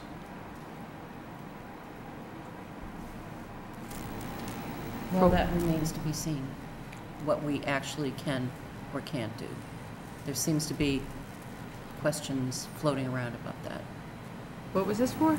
Sorry. The Border Street land, what we can and can't do. Oh. Depending on the appraisal and depending on what kind of private fundraising there is, and there is a question as to if the difference between the appraised value and the offer that they've currently got on the table is such that CPC can't pay over the appraised value, but there's an offer on the table for 2.3 million, where's that other money going to come from? And it seems like it would be all right, apparently, if it were to come through private fundraising, but there seems to be a question as to whether or not the town would be allowed to use other town funds. That just sort of came my way today. Well, and we've already talked about this. Um, In terms of the appraisal, there's no appraisal necessary on this property. Well, they have one. And if- I just, under normal circumstances, if the town was looking to purchase a piece of property, we went and said, we want to buy that piece of property over there, or someone wanted to sell that to us, we have to go through an appraisal process, and that determines the value that we can place on that property. This is a 61A, that doesn't apply. The value is what the offer is for the highest and best use under current zoning. Okay, what does that mean? If they were selling this for $10 million, because they were gonna put a 40B, that's not the highest and best use under zoning, so you wouldn't pay that. But the 2.3, that is the value. The CPC can pay that if they choose. They are not restricted by that appraisal value. However, they don't believe it's worth what they're asking, so I don't think they're gonna put up the 2.3 million. The town can use a mixture of methods to pay for it. We can't take private donations. uh, We can borrow, we can use cash, or the town has the option to say, okay, um, Group X, the town is gonna put up this much money, and we are assigning the, the option to purchase to you. Right. Go get the money, let us know how it works out. Um, That is a, that is an option, but um, the whole appraisal value on a 61A doesn't apply. And I've spoken to counsel, and she's opined on that, we've provided that to the CPC, but well, we'll see what happens on Monday night. Yep. So I would suggest that that has to be delayed as well. Does anyone have anything to say about the articles that we would want to assign tonight? So if- Unpaid bills, budget, Why are we assigning them now? well, that's what is on the agenda. Discuss, discuss, vote, assign special town meeting articles. Did I read that wrong? No, I just don't know why we're doing it. Usually we don't do it this early. Well, it's, it's not as early as you think it is. Town meeting's end of October, so. I mean, typically the chair does the unpaid bills. so that's fine. Budget reconciliations, is that usually the chair? Is that just moving money between departments? Nancy? Yes. There's- I Yeah. don't think we're raising additional money, are we? We are on, for the enterprise funds. enterprise funds. Yes, we would be for. Uh, yeah, it's just all those reconciliations.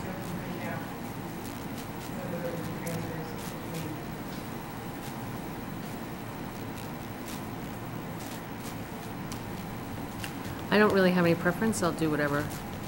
So. All right.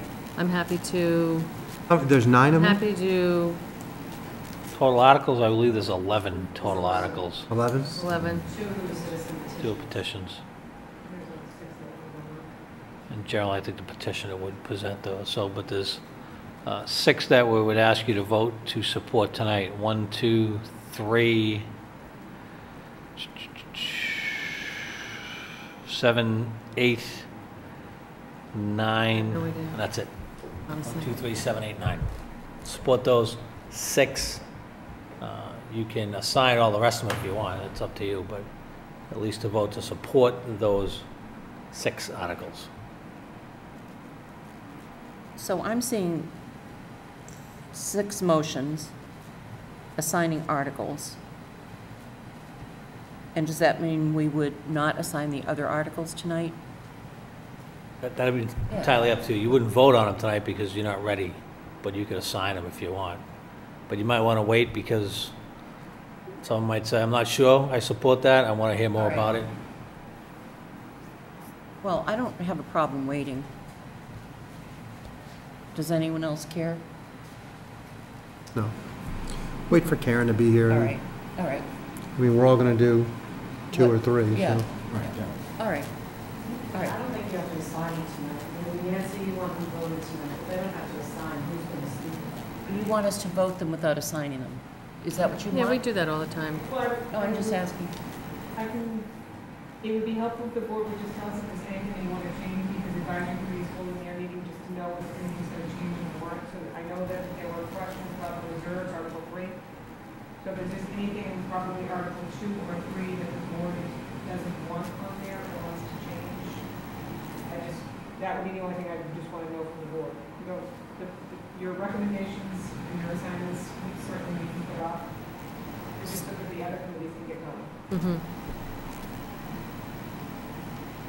They can't get going unless we get going? Well, you don't want them to opine on making a transfer to the OPEB liability trust fund if the- the board is not going to support that transfer to the OPEB liability trust fund. And that's one of the items that the board did discuss that they perhaps wanted to have further discussion about. So those transfers to reserves, I think, are probably the biggest thing. I don't think unpaid bills or anything, I don't think the budget reconciliations, unless there's something on there that's calling to the board's attention about an issue, um, that they would change anything. The only thing that I heard the board say is, um, that they wanted to talk about was the transfers to reserves. So the uncontroversial, therefore potentially votable articles tonight is Article 1, Article 2, not Article 3 because of the disagreement we had about OPEB. Is that right? I don't know if you still have it this week. Yeah, I mean, can we talk about them? Sure. All right, Article 1. Who wants to Good. talk about it? Good with Article 1. Done. approve. It's fine. Yep. Do we want to vote it right now? Recommend Article One. Does someone want to Make a motion to Thank accept you. Article 1 as written. Second. Second by Mr. Goodrich, all in favor? Aye. Four zero, motion carries.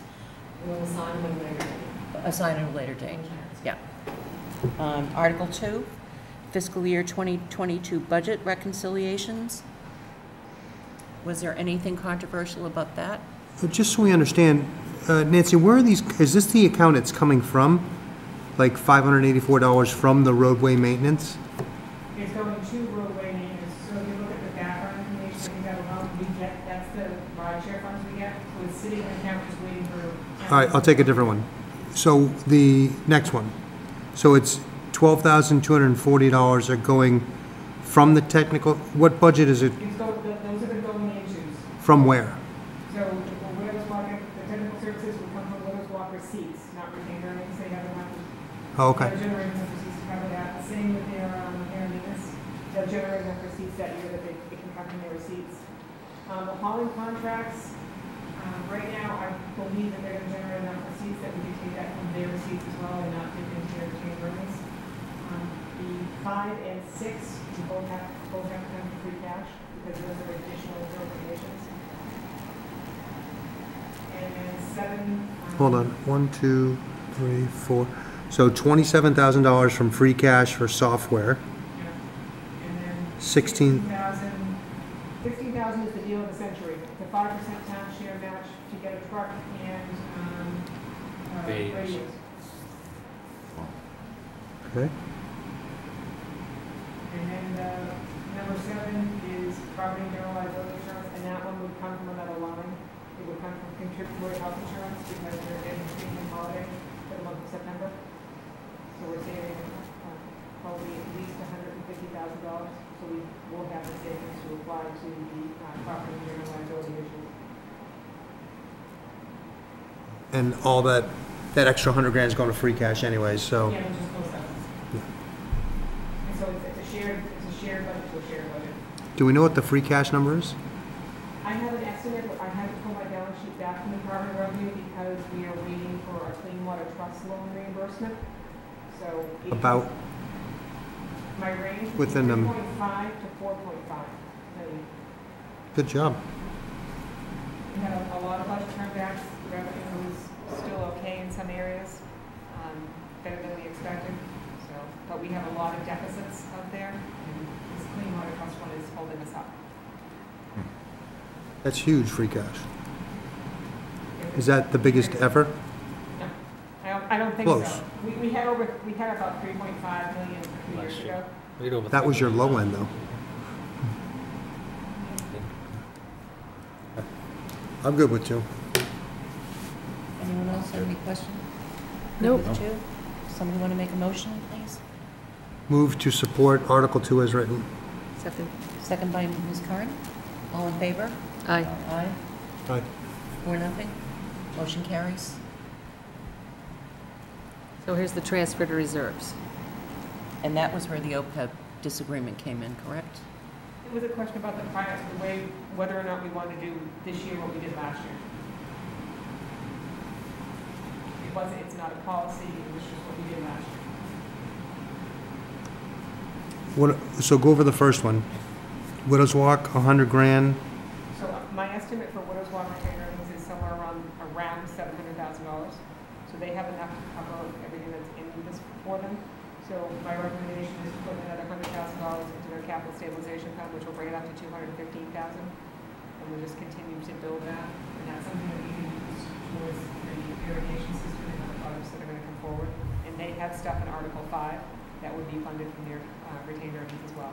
This would not completely exhaust their retained earnings, they would still have money that they can spring. If things look good, you could still put more in capital stabilization, or it could close out to their retained earnings for next year. Why would you put it there instead of just funding the current capital project? Why, why are you saving it for the wa, the irrigation instead of just paying the It's not clubhouse? necessarily for the irrigation, it's to build up some type of a reserve for that enterprise fund, because that enterprise fund is the one that's the most, has the most volatility due to the weather. There have been years where we've had deficits.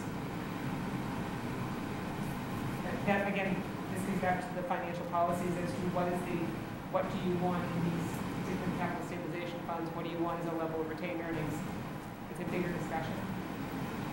For me, a hundred and fifteen thousand dollars for Widow's Walk when they've had deficits that have been more, more than, excuse me, more than that. And we'll see what happens with the pandemic and the drought. I'd like to see them a lot, have at least two or three times that much in their, um, reserve fund. And what's in their capital stabilization fund now? One hundred and fifteen thousand. 115. Okay. Because it just really started up, right? But if they're having a weather concern, don't you want it in retained earnings as opposed to capital stabilization? How, Either way, either way, it requires a town meeting vote to move it. And if you- right, but retained earnings can go to, to fix the budget where capital stabilization isn't Right, but supposed if, to. if you have two bad years in a row, Tony, you might not have any retained earnings.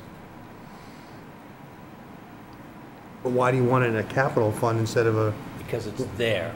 It's, sa- it's, that's your savings bank as opposed to, it's like the town stabilization fund.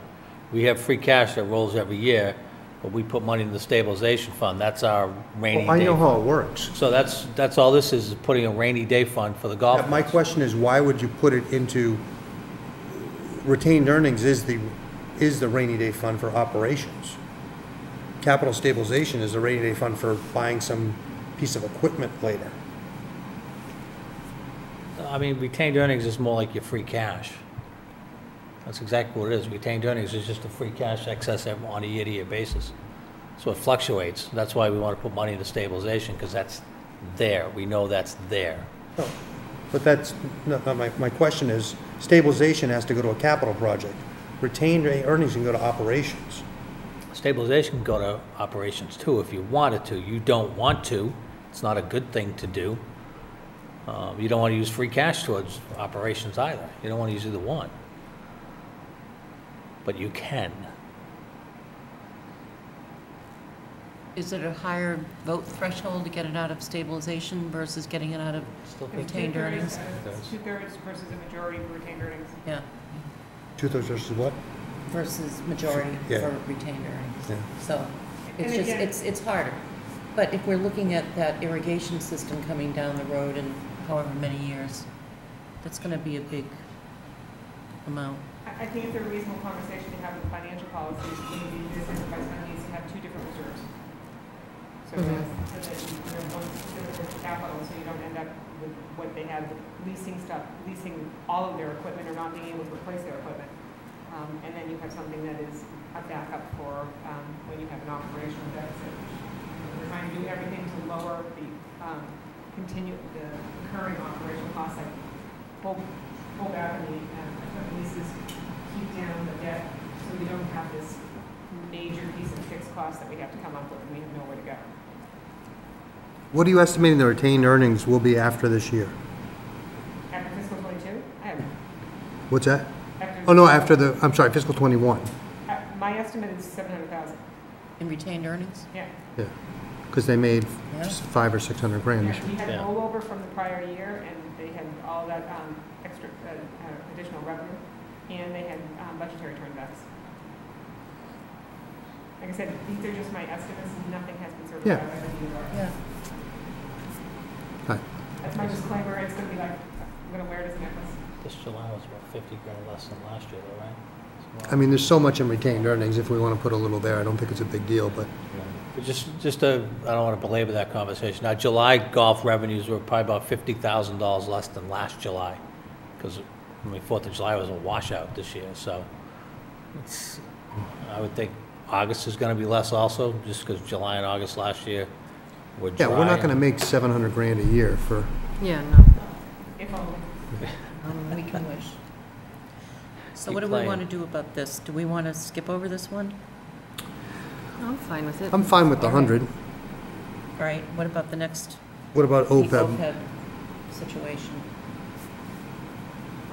Last year, what we decided, last year, a one, a one-off, we decided the excess of meals tax revenue over the estimate and the room occupancy, because it was the first year we had room occupancy receipts.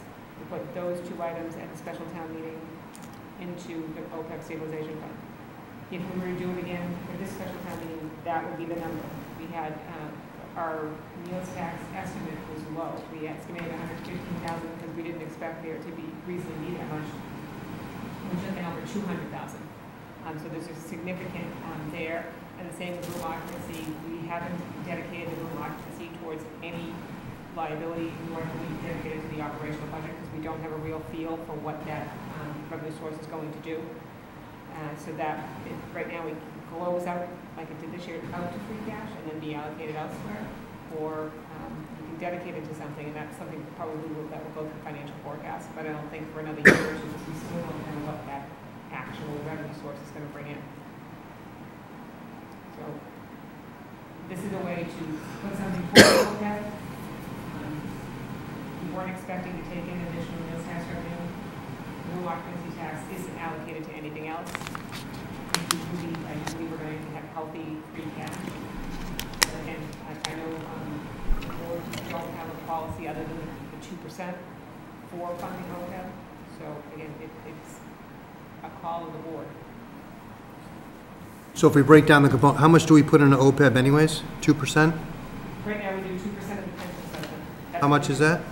Um, this year it's hundred and fifteen thousand. So we It's put a on 100? top of that? Yeah, so that's in the budget. And then how much was it from meals tax, you said, 50 grand? No, the, um, meals tax came in over two hundred thousand, um, and. But it's the excess, so, But we, we estimated one fifteen, we cut it so 85 grand there? Oh, more than that, just, just over that. What's that? It's it's a little bit more than that, 100 grand? yeah. occupancy. And you're putting all of the room in there, so It's that's, not dedicated to anything right now. right.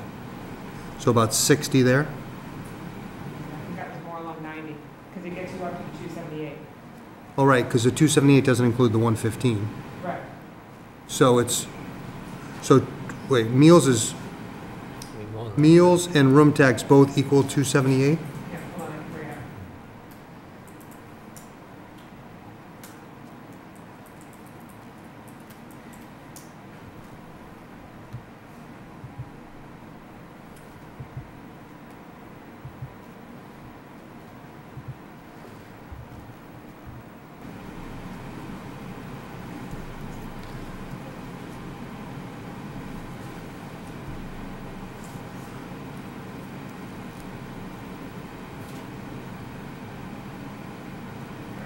Problem with being organized, you have too many folders in your, um, I guess it doesn't matter, those are the only two components, right? say that as I bring the spreadsheet. All right, well, I I didn't want you to keep looking. Okay, so, um, meals was estimated at one fifteen, came in at two fifty-seven, so it's hundred and forty-two on meals. Mm-hmm. And, um. So rooms had no 130. op- Had no estimate and came in at one thirty-five. Okay. So right now, our policies say we have to put 2% of our reserve, we may put 2% of our, 2% of our pen. Pension uh, obligation. Pension, right. So we put in 115, and you're suggesting we put in another 300 almost, all of our room tax and, uh, and half of our meals tax, because we almost doubled it.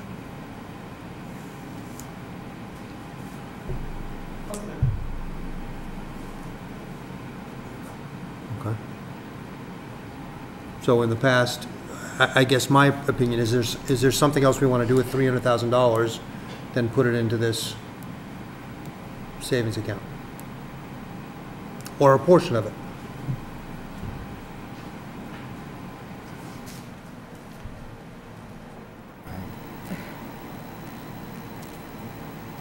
I would say yes. That there's something else you want to do with it? Well, I, I'll, I'll come up with something by the next meeting. The bandstand. Um, So this is not related to that advisory committee recommendation that they thought that we weren't being fiscally responsible? Is, is this the same discussion? I'm, It will be their same discussion with, with you. Yeah. About the OPEB liability trust fund. I I just try to throw money at the OPEB liability, any opportunity I have. And at the fall special town meeting, after free cash has been certified, that's one of the opportunities to build up our reserves. And we did a lot of reserve building last year, probably hit seven or eight reserves, six or seven reserves. This year, I only brought forward three. But again, it's up to the board whether or not you want to leave those three, um, and put additional funds in those reserves. And last year, we threw an additional hundred thousand dollars in, right? That's what we came up with a higher number and we said a hundred. Yeah, it was a little, no, that was what you did at the year-end transfers. At the special town meeting in the fall, you also put money in. Thank you. Which was this It was the year-end transfers where we had the, discussion with last year. And we, and we reduced it. It was And like we from reduced two hundred, it. and we We reduced put it a down to hundred. right. But the number was faintly smaller. It was, they were similar because we Yeah. received the premium Yeah, holiday. all right. Insurance in twenty. I was beginning to wonder what year I was in. So But is la- it- last year, there were three components that went into OPEB. There was the two percent, there was extra money that you put in it s- at fall special, and then there was the transfer money you put in. Yes.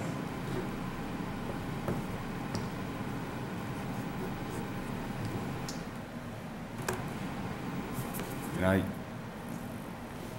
I think we may disagree, but I mean, I, this problem is so large, and anytime we can take a chunk at it, I, I think we have to, I mean, it's what, we're still over hundred and twenty million of a major liability. I mean, the, the albatross is not going away, and I know it's, oh, you know, there, there's just a little bit, but it's, you know, other cities and towns have taken huge chunks and had to do it, take a big, um, you know, so uh, I get that it's a small, but we can't keep kicking it down the, down the. Well, it's maybe road. small, but it's better than nothing, I suppose, right?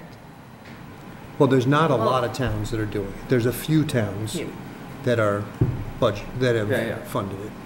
What- Um, what- But also, I would say that Nancy and Jim, you know, with all the rating services that come in here, I, I believe, correct me if I'm wrong, consistently suggest that we build up our OPEB to keep our interest rates down, so that we're showing that we're being, We we need to be more Fiscally serious about responsible OPEB and- if we want to increase our bond rating to AAA. right? So we've had that conversation a number of times, and we've come to the conclusion that that'll have no impact on it whatsoever. That it will not change our bond rating, right, Nancy? We also would have to address our financial policies. Right. Um, I, I think what would be more, at, at some point, not now, maybe not in the next two years, we might see our bond rating be decreased if we haven't taken control of our OPEB liability. Which we don't want that. Well, that's, if if you look at the, I gave you in the financial policies, what communities around us are doing, basically the same communities that we look at for our water rate study, and we are, um, lagging. So Noble puts all their meals tax into OPEB. I think Hanover puts fifty percent of their meal tax into OPEB. Uh, It just goes directly. When we did it in, in Norwell, it was actually illegal. And the Department of Revenue said you can't do that. We just said we're doing it anyways. I just want to make sure that we're, so we've had this conversation, and I, now, you know, I'm, So if we, if we Let update me- our let me just finish. Okay, sorry. So, last, the last two conversations we've had is, this will have no impact on our bond rating. So I don't want to create a scenario that says, well, maybe in the future it will do this. You know, we've discussed this. There's m- many things, our, our financial situations are very good, our bond rating is very high, and OPEB is not going to get us to triple, you know, triple A or, or A plus plus plus. Not unless we did, a- had a major change. Right, unless we, right, which we don't have the It's not gonna capabilities of. rise Unless we do a major change to our OPEB situation. Right. So I just want to make sure we all understand that we're not creating the scenario that's causing us to do this with an impact that it may not have. It's not, you know, it's not the end of the world. It's 300 grand. Um, It certainly would be going to a good place, but I think this is one of the rare opportunities that the board has control over funds, that we can do something that, that we think is important, as opposed to throwing it into this bucket that is going to have minimal impact, whether it's, whatever it happens to be. Can it go into a one-time expense, or is it more of a, a reoccurring? Could it go in, has to in one-time, right? Because it has to be supportive. Yeah. I mean, it's going to be voted. at No, town no, I meeting, understand yeah. that, but I just, you know, when you say something that we want to do, we want to make sure that it's, we're all in the understanding that it's a, Yeah. like, we don't want to add, we would love to add another, you know, body to a particular department, right? That's reoccurring, and you wouldn't suggest putting this money into some investment like that. So- Tony's right, just taking what are small chunks of money, when you look at what our liability is, and tossing them into OPEB is not gonna get the rating agencies to say, oh, you're serious about OPEB. Uh, You have to, we're gonna take the room occupancy tax, that's gonna be dedicated to OPEB. This is gonna be dedicated to OPEB. And then, when we pay off our pension, that's gonna be dedicated to OPEB. Then with everything else, they might say, okay, now you have a plan It might be a lousy plan, but you have a plan to eventually pay off your OPEB liability. I mean, the only town that I know that's fully funded is um, Wellesley. Wellesley, And they paid off their pension, they put that in, and then they did a million dollar override, and that money went into their, their OPEB. So they're the only ones I know that are fully funded on their OPEB liability. But you have to put that other plan in place, just saying, well, we get some extra money, we're gonna throw it in this year, is not gonna get the rating, rating agencies to say, oh, yeah, you, you're doing it. It's gonna have to be more beyond that, that kind of puts a plan in place. So right now, our plan is, we put 2% of our Two percent. pension in there. Lots of other proposals for the plan, though. What's that? Lots of other proposals for the plan, though. Spoiler alert for the financial policies. Yeah. Um, And the plan has been, when the pension gets paid off, that there'll be $7 million a year that's going to go in there. You know, that that's, unfortunately, the pension date keeps getting pushed off years and years and years, so. But that's not, that's not in our policy, and that needs to be put in our Right, policy. that's, that's been our guide. Because that's the big chunk of money that you see in the future. Right. 20, 28, 29, what's the I think pension? it's 2031 now. So they might have moved it again. Um, So I'll tell you what, I, I would suggest that we, wait for Karen to get back and have a full discussion on that article. Um, And a- again, I just want to make sure we're all fully understanding what it is, and whatever we do with it, we do with it. Well, and I, and I would recommend that when we come back to that discussion, that we have some ideas of where you want to spend that $100,000 or whatever that amount is. 207, whatever it is. Whatever that amount is. Or a portion of it. Yep. You may just say, Right. but we I- want to build a statue need to know where of John that is. Danahy, and put the rest in anyone else OPEB. hear that? Well, um, prob- maybe for your next meeting, we will have certified free cash and retained earnings and have a number, concrete number, and Mhm. the capital plan is out to departments, and there's feedback, for example, this month, so we'll know, so this is twenty-three, twenty-seven capital plan. All right, so we're going to skip that. Moving on to Article 7, the local options acceptance. Well, what about the sped reserve? Oh, well, I thought we were just going to, I know, but we should maybe have, so this is, this is what we said we would do, or is this year two of this? We, last year, we authorized the, the, the, um, the creation of this reserve fund and said we would fund it at a later time. This reserve fund is not a stabilization fund. It has limitations on it. It cannot be more than two percent of net school spending, so it's got a limitation of just under nine hundred thousand dollars that it can ever have as a balance. And money isn't taken out at town meeting, it's taken out by a, a vote of the town, the select board, and school committee. So it's- neither one can access the funds without the other's approval. But when we created this account, so this has been a, a school expense for the last mm-hmm. 375 years, and now we said create the sped fund, and we said we would give it some seed money, but not necessarily regularly putting money from the town budget into there. So this is the seed money that we talked about. Correct. Okay. So we did talk about that, and that's what we said we'd do. You good? I'm we good. did talk about it at some point. A lot. So, I think we're skipping this article. We're skipping Article 4? No, Article, yes. Yes, we're skipping Article Article 3. Oh, Now, yes. we're on to Article 7, the local option acceptance. That doesn't seem to be, Why aren't we talking about Article 4? I'm sorry, I'm not following. Capital planning needs to opine on that first and give them. They have to opine on the uh, school first? Yeah, on Okay. four we're and we're trying to get rid of the easy ones first. Oh. But So that wasn't the apparently one. not succeeding in getting Okay. rid of the easy ones first. Okay, sorry. It's all right. So the next quote-unquote easier one is a local option acceptance, deferral of water usage fees. Um, I think that's for elderly people. You can defer your taxes under forty-one eighty. This is kind of like a nice veterans type of a, Someone most actually people. wanted to do it this year, and he, um, Joe called me and asked me if I, you know, if we'd accepted the local statutes, and I kind of have. And when you say Joe, you mean the assessor, yes? Yes. Okay. So I'll make a motion to approve supporting Article 7 as written. Second Second by Mr. Goodrich, all in favor? Aye. Aye. Motion carries four, nothing. And I'll make a Article motion to eight. approve Article 8 as Thank you. written. Second. Second by Mr. Goodrich, all in favor? Aye. Aye. Aye. Four, nothing. You're a little lagging over there. Four, nothing, motion carries. Um, Endorsement of master plan as recommended and approved by the planning board. Anyone want to discuss that? Um, We all did receive copies of it, many drafts, many opportunities to have input. It's, I believe, been finalized? Is it, the master plan has been accepted by the state, finalized? Or do we have to accept it first and then they? We accept it first. We accept it first, okay. Does anyone have a problem with us voting on that? No? No. All right. May I have a motion, please? Move to the select board vote to recommend Article 9, endorsement of master plan as recommended and approved by the planning board. Moved by Mr. Goodrich, second by? Second? Second by Mr. Vegnani, all in favor? Yes. Aye. Aye. Four, nothing, motion carries. Beat me to the punch that time. All right, so, um, so we will take up the other articles because there are other boards involved. Are 10 and 11 coming in? Or they're the same person, right?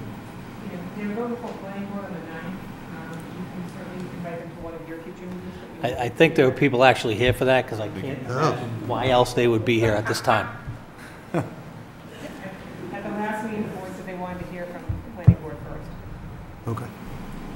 Who do we want to hear from first? Planning board? The board? planning board. Sorry, it's just hard to hear. Well, if they're Yeah. sitting here, maybe they want to give us a quick overview? Sure. Are you the petitioner? I did, was I the, I saw something written by Mr. Bowen. Yes. Explaining, Mr. Bowen can't be here this evening, but he did write these petitions. Yes. And he is confident that they are legally sound. they pass muster? That's Rich Bowen? Yes. He's hoping I'd be able to make it on Thursday, but he's, I think it's, I think it's somewhere in the backup, the Mhm. analysis We- of the articles. We got an email, yeah. We got an email, you're right. Sent it out, Okay. yeah. Yeah. I know I read something by Rich Bowen. Mm-hmm. Yeah, He sent it to Karen Joseph, and Karen shared it with us, and I shared it with That's- the board. That was the trail, yes. Thank you. Would you like to? Yes. uh, Say who you are? Very gladly so. Uh, I'm Keith Saunders. I, um, I was raised in Scituate since 1970. Uh, s- 1986 graduate of SHS. I have a PhD in sociology from Northeastern University.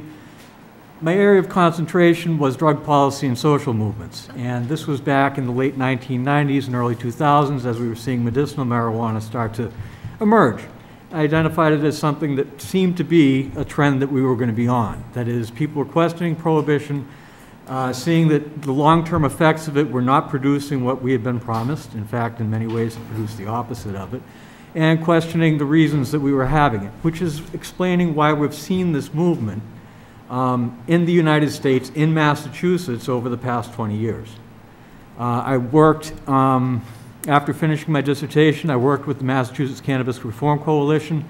I was on the board for 10 years. I was president for five years. I have served on the board of directors for the National Organization for the Reform of Marijuana Laws since 2010.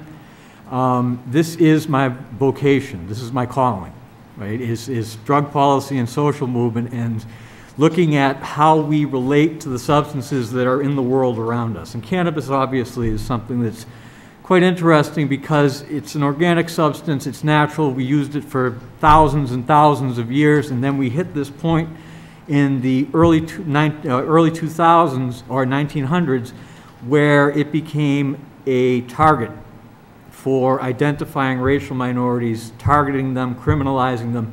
And this spread out um, until we hit the 1960s when the marijuana user, as defined by the prohibitionists, became white, middle class, college educated, Barack Obama, et cetera, and uh, you know Clarence Thomas. I mean, it's it, it- across the spectrum. It becomes ubiquitous.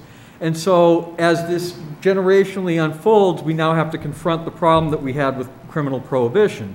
And how are we going to control cannabis use without using law enforcement in the way that we had because that just simply wasn't working? When, when we first prohibited cannabis criminally, there were tens of thousands of users in the United States. There are tens of millions of users today, and all of those people started using under prohibition. So clearly, the criminal justice approach doesn't work. Now, I don't have any investment in any particular cannabis company. I've worked independently. I've advised people who have opened up dispensaries in Massachusetts, recreational stores in Massachusetts. Um, I've, I, I opened the first cannabis vocational school east of San Francisco in Natick, Massachusetts, uh, the Northeastern Institute for Cannabis. I was the education director for a year there. Um, and I learned quite a bit about what we're dealing with here in the process.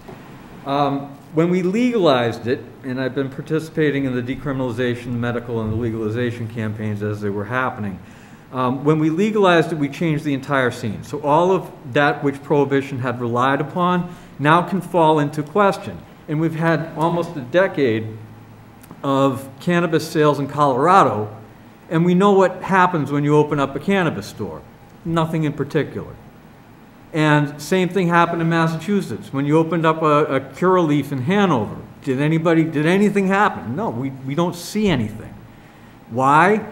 Because the cannabis market was so well established under prohibition that when we legalized it, nothing really changed. Now, does anybody want to venture a guess? I'm not going to ask you to go on record, because I know that we're being filmed. Just venture a guess in your head. How many pounds of marijuana do Scituate residents over the age of 21 use in a year? Or, sorry, in a month? How many pounds? How many pounds of marijuana do Scituate residents over the age of 21 who could legally purchase it in stores use every month? Is it five pounds, 10 pounds, 20 pounds? No idea. I did some math. How do you track that data? I'm going to show you.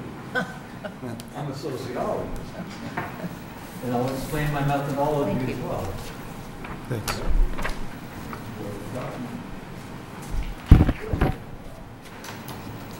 All right, first, we take the demographics, this is from the US Census, total population, population over 18.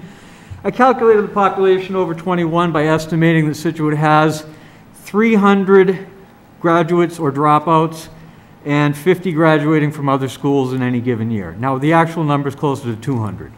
So I overestimated the number of people who are under 21. So underestimated the number of people over. According to the Department of Public Health in Massachusetts, and this data comes from the Cannabis Control Commission's website, 21.1% of residents over 18 used marijuana within the past 30 days. Applying the mean, we have X number, where do I have that? I think I have two different copies here. Yes. Applying 67%. Do you have the 67% of the mean? Yep. Yeah. Applying 67% of the means to the Scituate's 21 population gives us 1,920 monthly users. 14% of Massachusetts residents over 18 use marijuana daily. Okay, I'll get to this. Because I readjusted down to 67 because generalization effects saying, hey, that's the mean for the whole state. Let's underestimate for Scituate.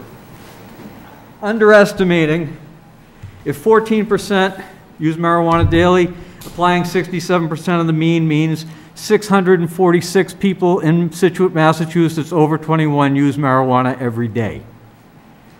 The volume, assuming that a regular daily user uses one gram, which is the weight of a cigarette, tobacco cigarette, it's not a huge amount. Patients use quite a bit more than that. One gram for daily users, four grams or one gram a week for monthly users. We consume 53.8 pounds of marijuana flower every month. How much does that cost? Well, it's currently selling for $279 a month in Rockland's two dispensaries on average. They're 453.6 grams in a pound, or $4,536 in gross revenue, and that's at the largest scale, so you pay less per gram.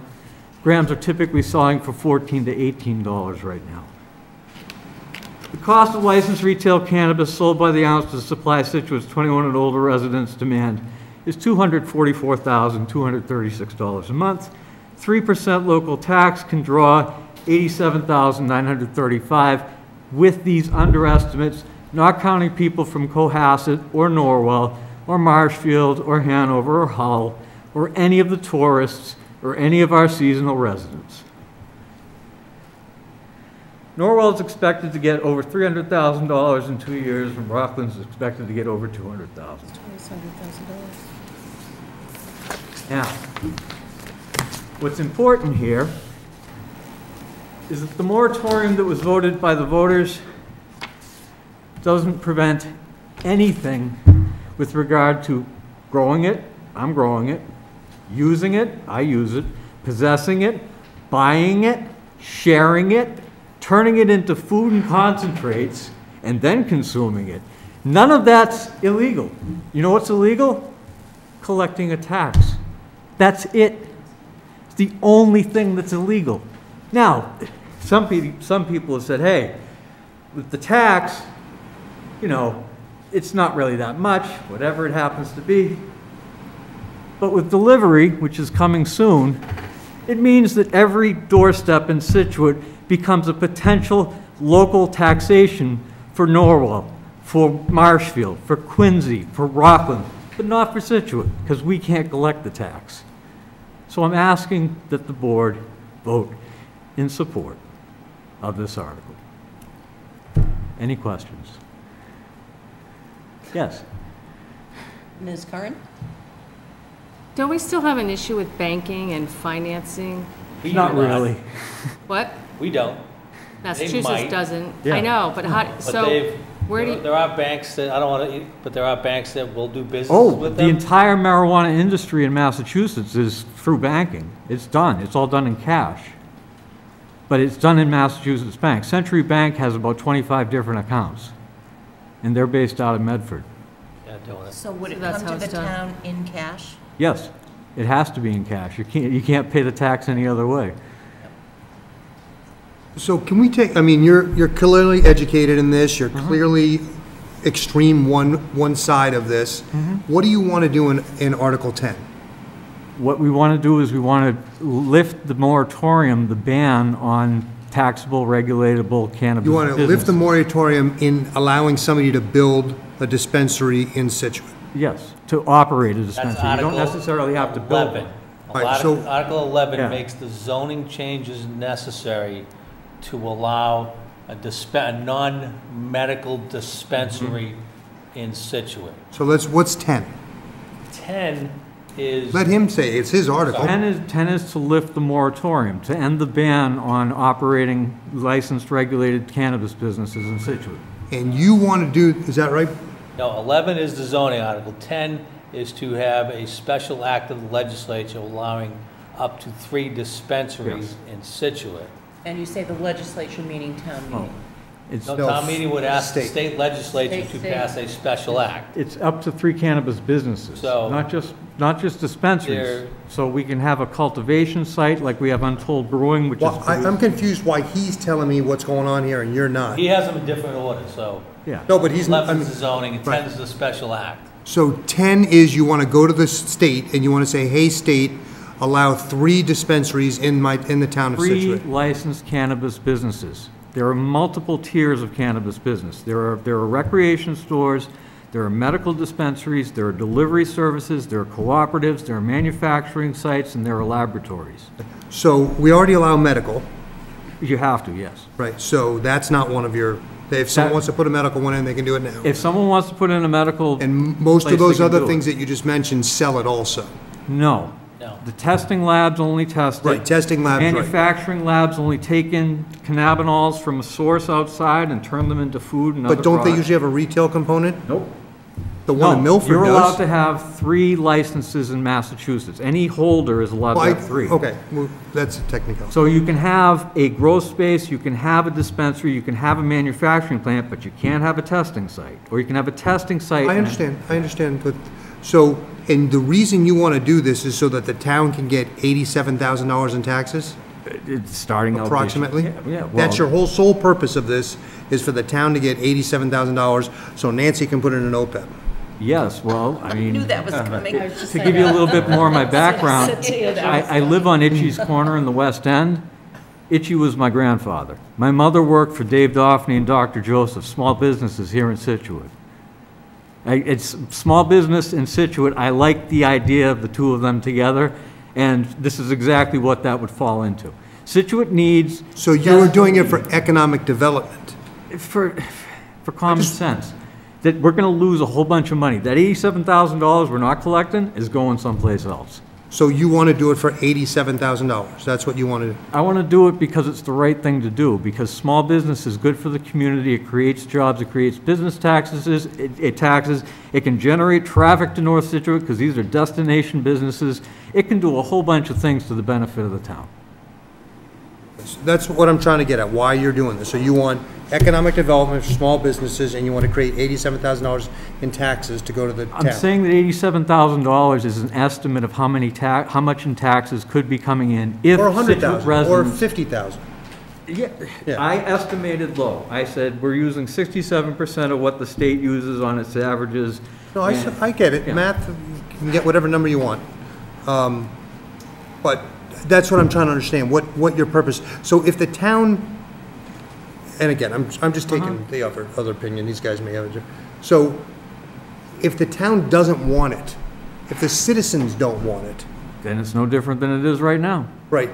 And what they should be weighing against that is starting three new businesses, potentially, Uh-huh. and gaining somewhere under $100,000 in tax revenue. And not losing that. Because the people, when they order it and they pay for it at their door, that means the money goes to Rockland. It never comes to Scituate. Right, well, that's generating. it. But That's- yeah, so, so, you know, people will not be net exporting tax dollars. Right, so that, that's what, as we, when we explain this to the town, Mm-hmm. we should say, here are the two options. Mm-hmm. One, we want to have three, hun- three small businesses and generate ninety thousand dollars of revenue, Up or to. not have, That you, I don't know how many businesses Scituate could actually support. It should, probably can't support three retailers. I doubt that. One retailer, yes. I know this from, from research that I paid for back in 2015. We can do one retailer. They said Scarsaloni's gas station was the ideal location, can't do it there. Greenbush Medical Building, second best location. Now I understand it's gonna be condos, can't do it there. North Scituate, Greenbush, somewhere in a commercial district. It's no different than a CVS. CVS sells opiates. I mean, this is cannabis. Kids can't walk in there. I go to Untold Brewing, and you got kids, you got pets, parents are drinking. Everything's fine. And I'm not even asking about a social consumption site, because that's not going to work in this town either.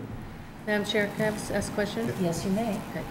Uh, I just want cl- clarity on the three um, licenses. Is it Mhm. that a license holder can operate up to three facets of the business? So you potentially could have nine different, No, okay, you'd so only it's have only three three establishments established We could total. have, we could have w- three licenses held by one entity, or three licenses held by three entities, or two and one, And but it no all more than applies to three. one of those different facets? That's my question. Okay. No, it would comply to any, any one of No, them. I I know. So you I'm- could I have got it. three growers. Yes. In fact, a And that would co-op, a cooperative would do very well in Scituate. Yeah. It's, it's got a low footprint. Um, if they did it outdoors and they use greenhouses and light deprivation, they'd be able to get reliable crops. This summer has been hell on, on people who are growing outdoors. It's been incredibly wet. Um, so it makes it difficult. That was my question. Any questions?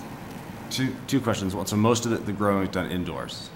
Right now, most of the growing in Massachusetts is done indoors. When you talk about places like Oregon and California, Northern California, it's almost entirely outdoors. Yes, security and other stuff. Absolutely. Do you have any data on, so if there's a retail store, how many people, how many people do they normally hire? Because you have the, you know, you're, most of them hire four or five people, and then some of the other manufacturers, I mean, yes, it's one new business, but it could be 10, 12, 13 new jobs. If there- Do you have any of that data, or? Uh, Off the top of my head, I'll tell you that the typical retail business is going to open up with about 18 to 20 people, from top to bottom. From their CEO, CFO, to their treasurer, to their, you know, legal advisor, to the managers, to the bud tenders, to, you know, their promotions people in advertising. To, and follow up, so how about data on property value? Property value doesn't decrease. It, it, it pretty much goes up. Um, There has been, no in Colorado, there's been no tie to increases in crime. In fact, the, the, if you open up a dispensary, crime tends to decrease in the street. Um, One of the things that Prohibition relied upon was this thing that, you know, we're gonna go and we're gonna say, it's always been this way, it's always been illegal, and if we legalize it now, all of these bad things will happen. And then we legalized it, and we're not seeing it. The, the police and the EMTs aren't reporting that when they pry open the door with the jaws of life, a bong is rolling out of the car, but they still see the Jack Daniels bottles. So we're not seeing any difference in large part because we've always had such large consumption in our lifetimes. More? Another question, sorry. Yes. Who is the licensing authority in this instance? Is it us, the town? Um, Okay, It's a two-part process. The town has to approve the business and what's called a host community agreement, which allows for the, the charging of up to 3% of gross revenues for up to five years for attributable expenses incurred by the town. That is on top of the 3% municipal tax. So typically, uh, it's about $200,000, $250,000 over three years that the town ends up getting on top of the 3%. You are the licensing authority. Yeah, that's- Board of Select- Selectmen. Okay, It's just the want to double check if it came down from the And state. you or- signed And the then- host agreement. Yeah, and then, the and then, the and then the com- Cannabis Commun, uh, Cannabis Control Commission has the authority to issue the license or not. Do they issue the licenses based on population? No, they issue the licenses based upon applicant, um, you know, competency, basically. Do they have what the CCC is looking plan. for?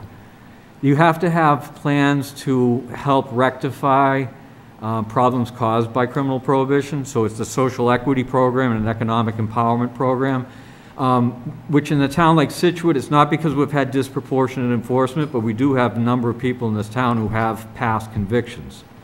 And those people qualify for social equity. And so. I guess the question I'm really asking is, how do they decide how many licenses a particular town gets? the town does. The ta- So we could, we could say we want to give out 21 licenses. No, you only get three. Uh, You need to get approval from the state, but Uh, yeah. well, that's what I'm getting at. Yes. Who, who says, Well, we would- Scituate, you can have We would 10? be capped by the legislation that he wants to You're- pass, that would cap us at three. Yes. Now, I just have for the heard board, and I something- don't think he's aware of this, I had a conversation with Karen Joseph at about 6:15 tonight. There is some disagreement between Attorney Bowen and Attorney Amara whether that legislation is necessary or not. We don't have an answer to that yet, but they are, they have some disagreement as to whether or not that is necessary. So the, let's just pick on Norwell. The town of Norwell had to go to, or is it Hanover where Curaleaf is? Hanover's where Curaleaf is. All right. The town of Hanover had to go to the state legislator, le- legislature and get what? So They just allowed it. they what? They allowed it. So Yeah, Scituate Curaleaf is- prohibited We it did a from. moratorium. Curaleaf- I understand, but, Curaleaf is a medical dispensary only, so it doesn't count. Let's talk Canavan and Rockland. all right, let's talk, Can, Rockland had to, after they, Rockland never banned, Rockland never put a mor- moratorium. So as soon as it was legal to apply, people were going into Rockland and saying, I want to open up a cannabis business, and talking to the local planners and so forth, where they were going to locate it, how large it was going to be, what they expected in traffic, and that entire thing. And um, so they launched it right away, so that's why they're open. There's going to be a third one open in Rockland, and then Marshfield just opened up as well, so. Gonna be two in Marshfield, I think. Yep, One's open, And just one's- open. yep, last week. On 139, I think, I Yeah, thought I saw it. yep.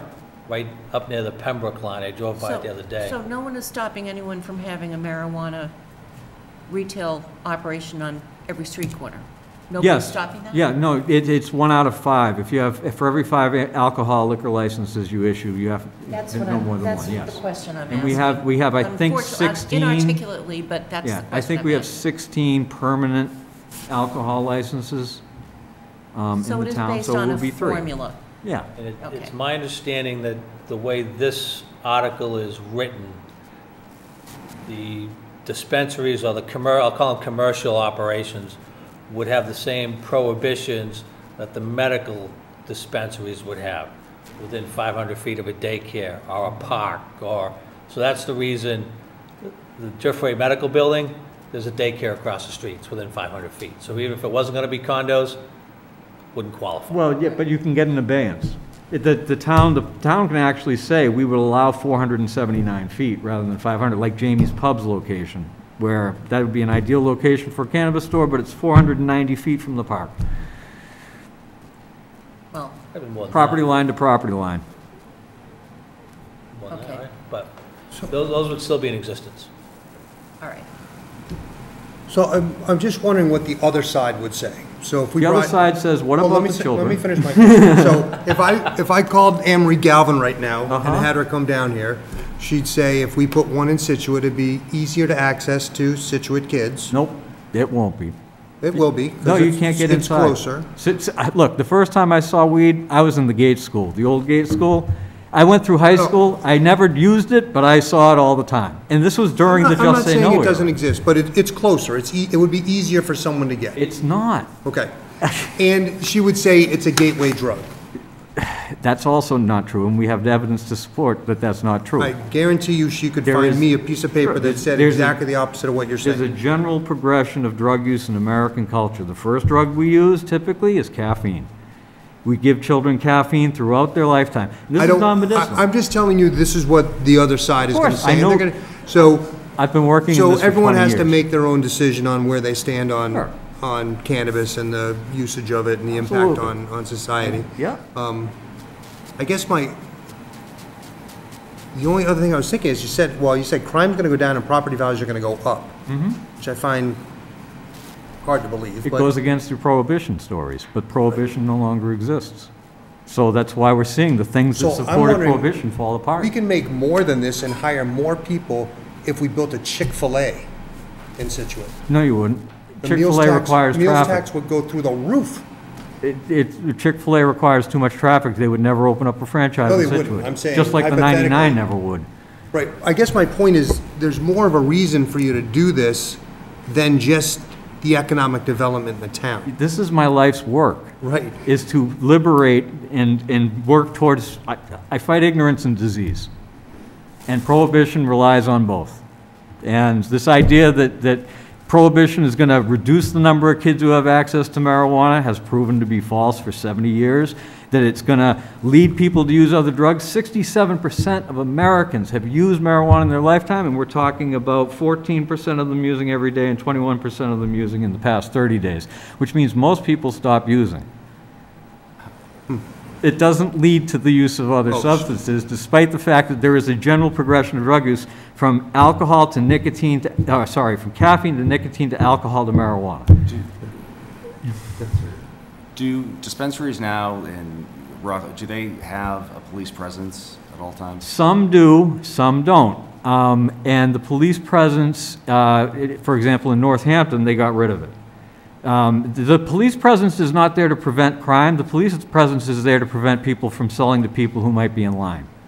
Uh, Northampton has pretty, or not Northampton, um, um, Great Barrington has also removed all police presence. And did, and who, and so the the dispensary would, would pay that detail? The dispensary pays the detail that goes through the, um, the host community agreement, if the town wants somebody there. Now, there's no more reason to have a police presence outside of it than to have it outside of a bank. I mean, if you expect that the bank's gonna get robbed, yeah, but, you know, dispensaries are more secure than banks. You can't get into them without showing your identification. You're not allowed inside. And then there's a man trap, that as you walk into the dispensary, you're literally locked in a box. You can't go one way or another unless they let you in. You have to provide your ID before they let you in.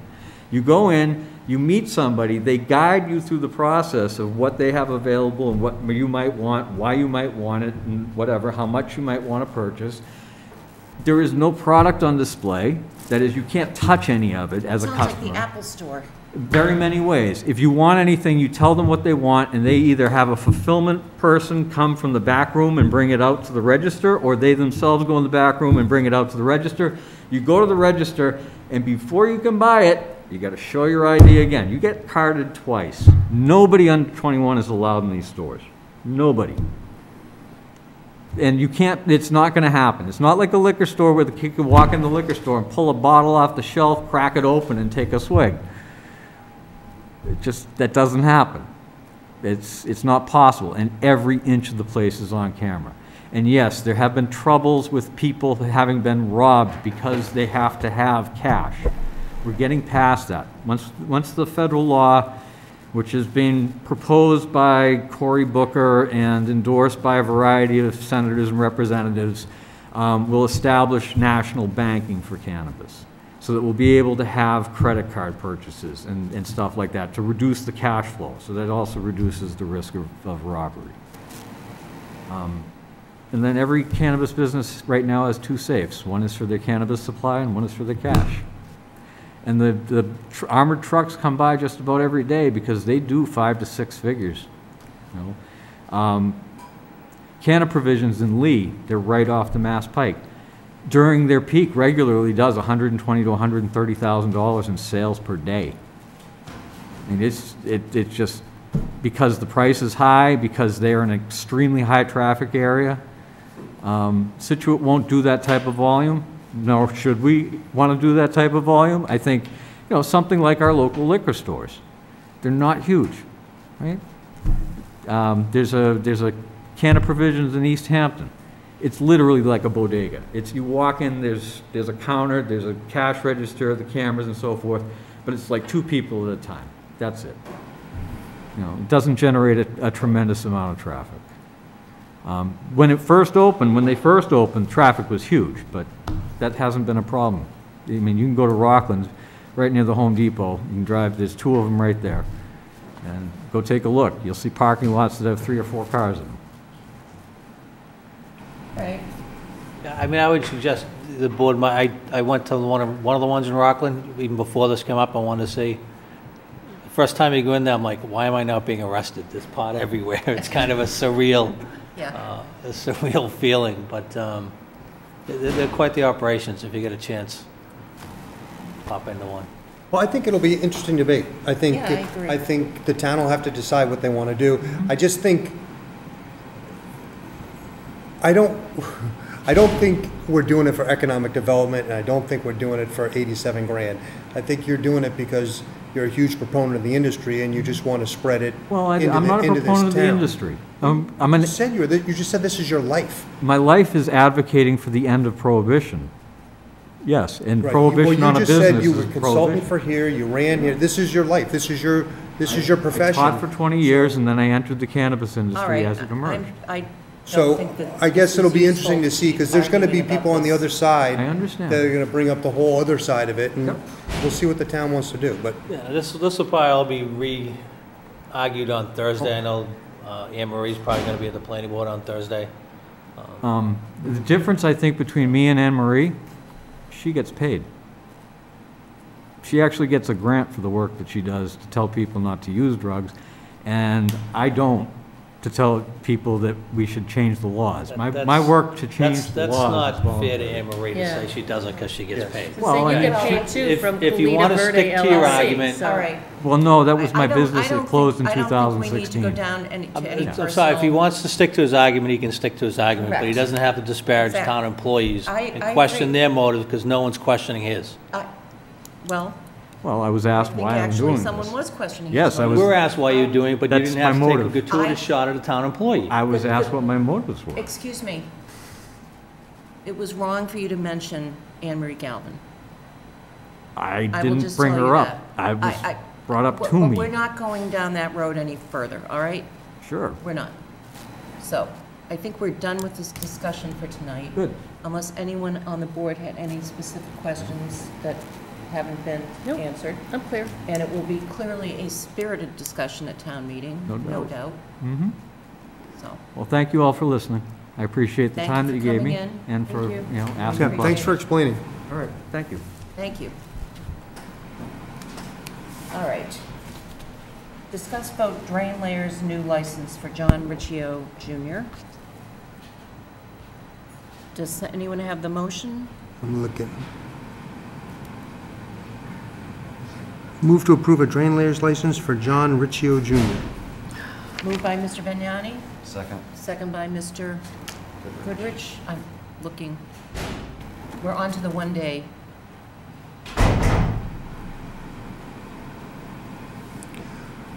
So we just had a motion by Mr. Vegnani to approve the drain layers license for John Riccio. It was seconded by Mr. Goodrich. All in favor? Aye. Aye, four zero, motion carries. We have a list of uh, one-day malt and wine licenses. Someone could make a motion, please? Move to approve a one-day wine and malt license to Ellen McKenzie for an event located at the Lucky Finn, uh, 206 Front Street on September 11th, 2021, from 6:30 PM until 8:30 PM. Second. Second by Ms. Curran, all in favor? Aye. Move to- Motion carries four zero, sorry. Move to approve a one-day wine and malt listen- license to Family Crest for an event located at Scituate Maritime Center, 119 Edward Road on September 11th, 2021, from 5:30 PM until 9:30 PM. Moved by Mr. Vegnani, second by Second, sorry. Ms. Curran, all in favor? Aye. Aye, Aye. four, nothing, motion carries. Move to approve a one-day wine and malt license to Ellen McKenzie for an event located at Scituate Maritime Center, 119 Edward Foster Road on September 12th, 2021, from 5 PM until 9 PM. Motion by Mr. Vegnani. Second. Second by Ms. Curran, all in favor? Aye. Motion carries four zero. And lastly, move to approve a one-day malt, wine and malt license to Simply Serving for an event located at Scituate Maritime Center at 119 Edward Foster Road on September 19th, 2021, from 11 a.m. until 3 p.m. Motion by Mr. Vegnani, second by Second. Second. Mr. Goodrich, all in favor? Aye. Motion carries four zero. Discuss vote board and committee appointments and renewals. You have a list in front of you? right? Yes. Number three and number six should come off. Right.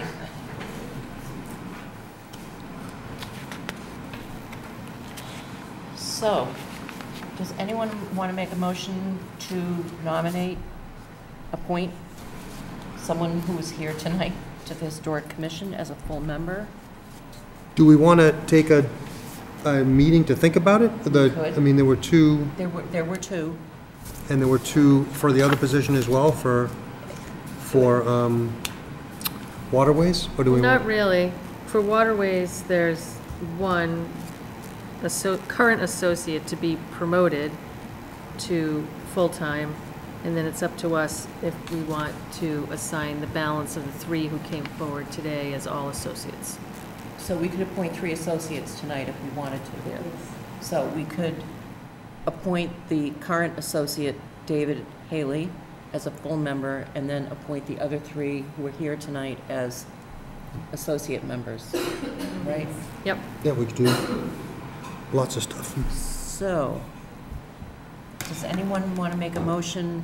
Well, on the Historical Commission, Lorraine, we did find out, Mr. Glinski, I think he said he would be willing to be an associate, but I don't think we asked the same question of Mr. Whitaker.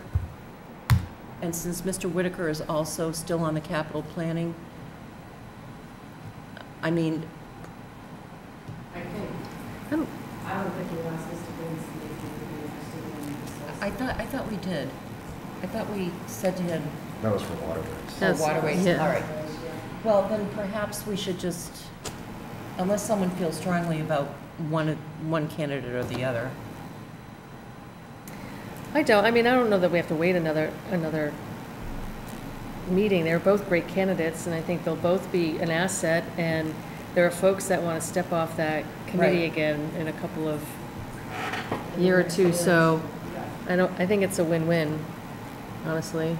That's just my. So would someone like to make a motion for the full member?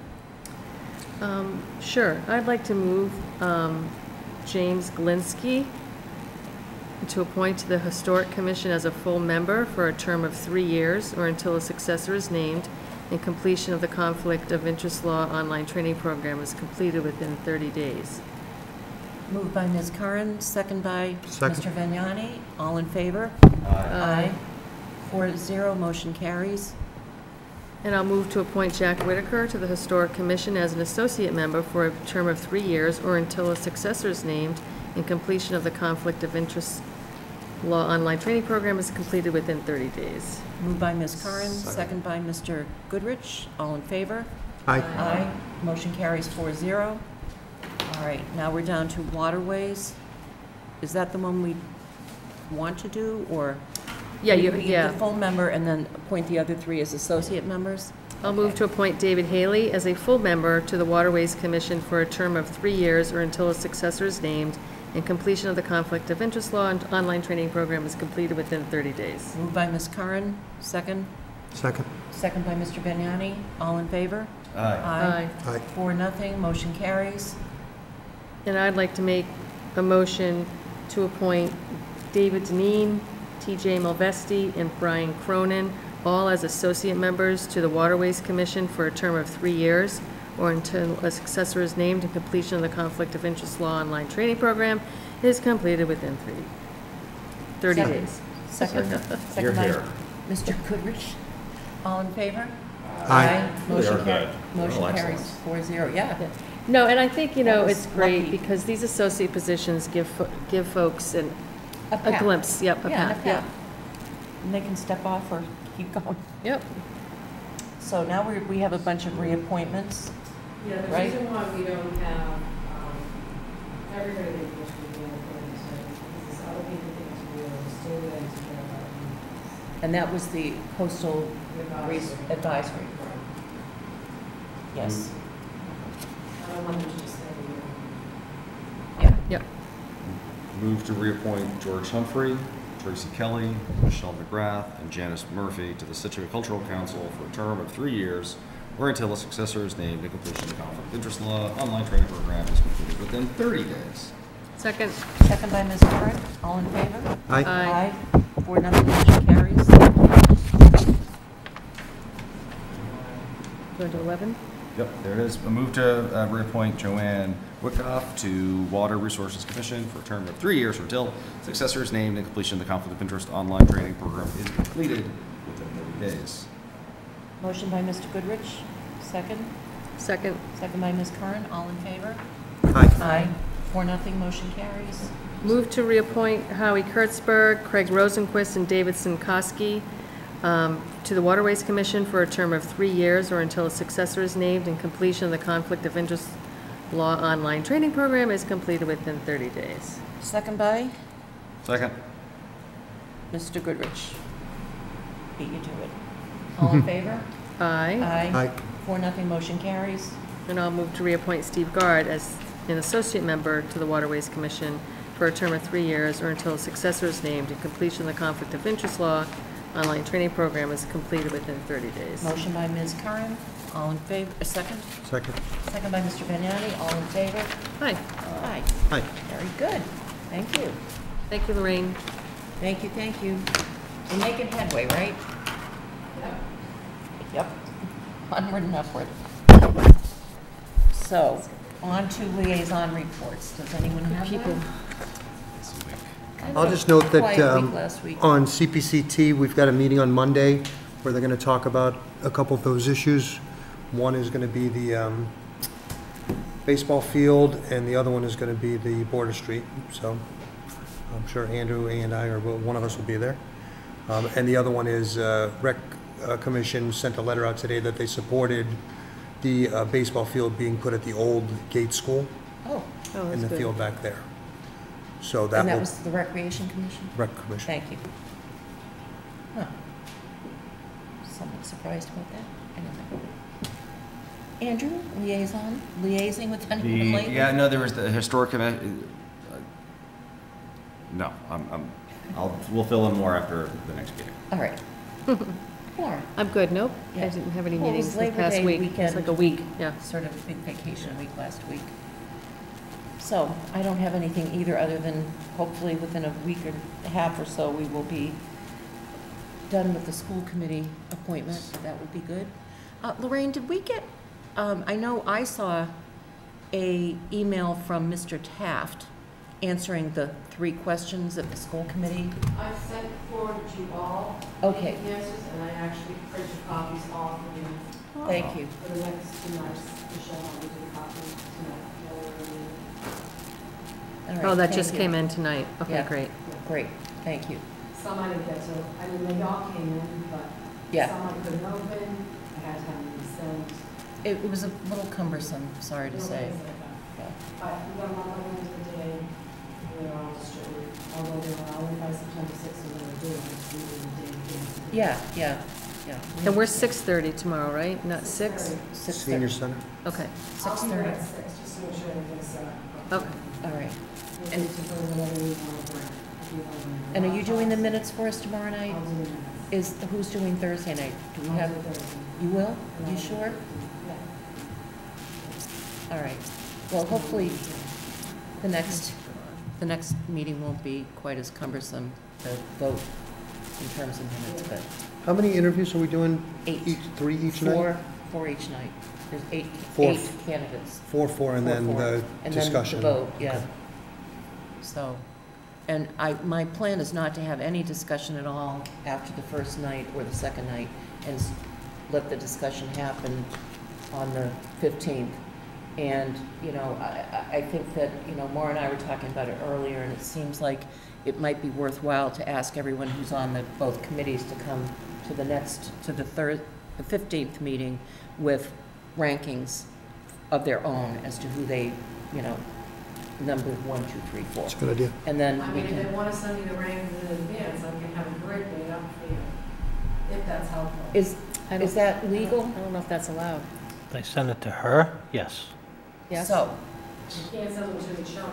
but we could send them to you. They can and- go to Lorraine, she can't share them, she can compile it and then give it out the night of the meeting. Perfect. Okay. You can, you can talk with Mike about that, that just a suggestion. No, let's, we're driving this train, so um, why don't we do it that way? And that way We'll you have to will, figure out a date and let everybody know. right. Well, if we're, Probably after Thursday night. yeah, I would say, need- I need a day to compile. right.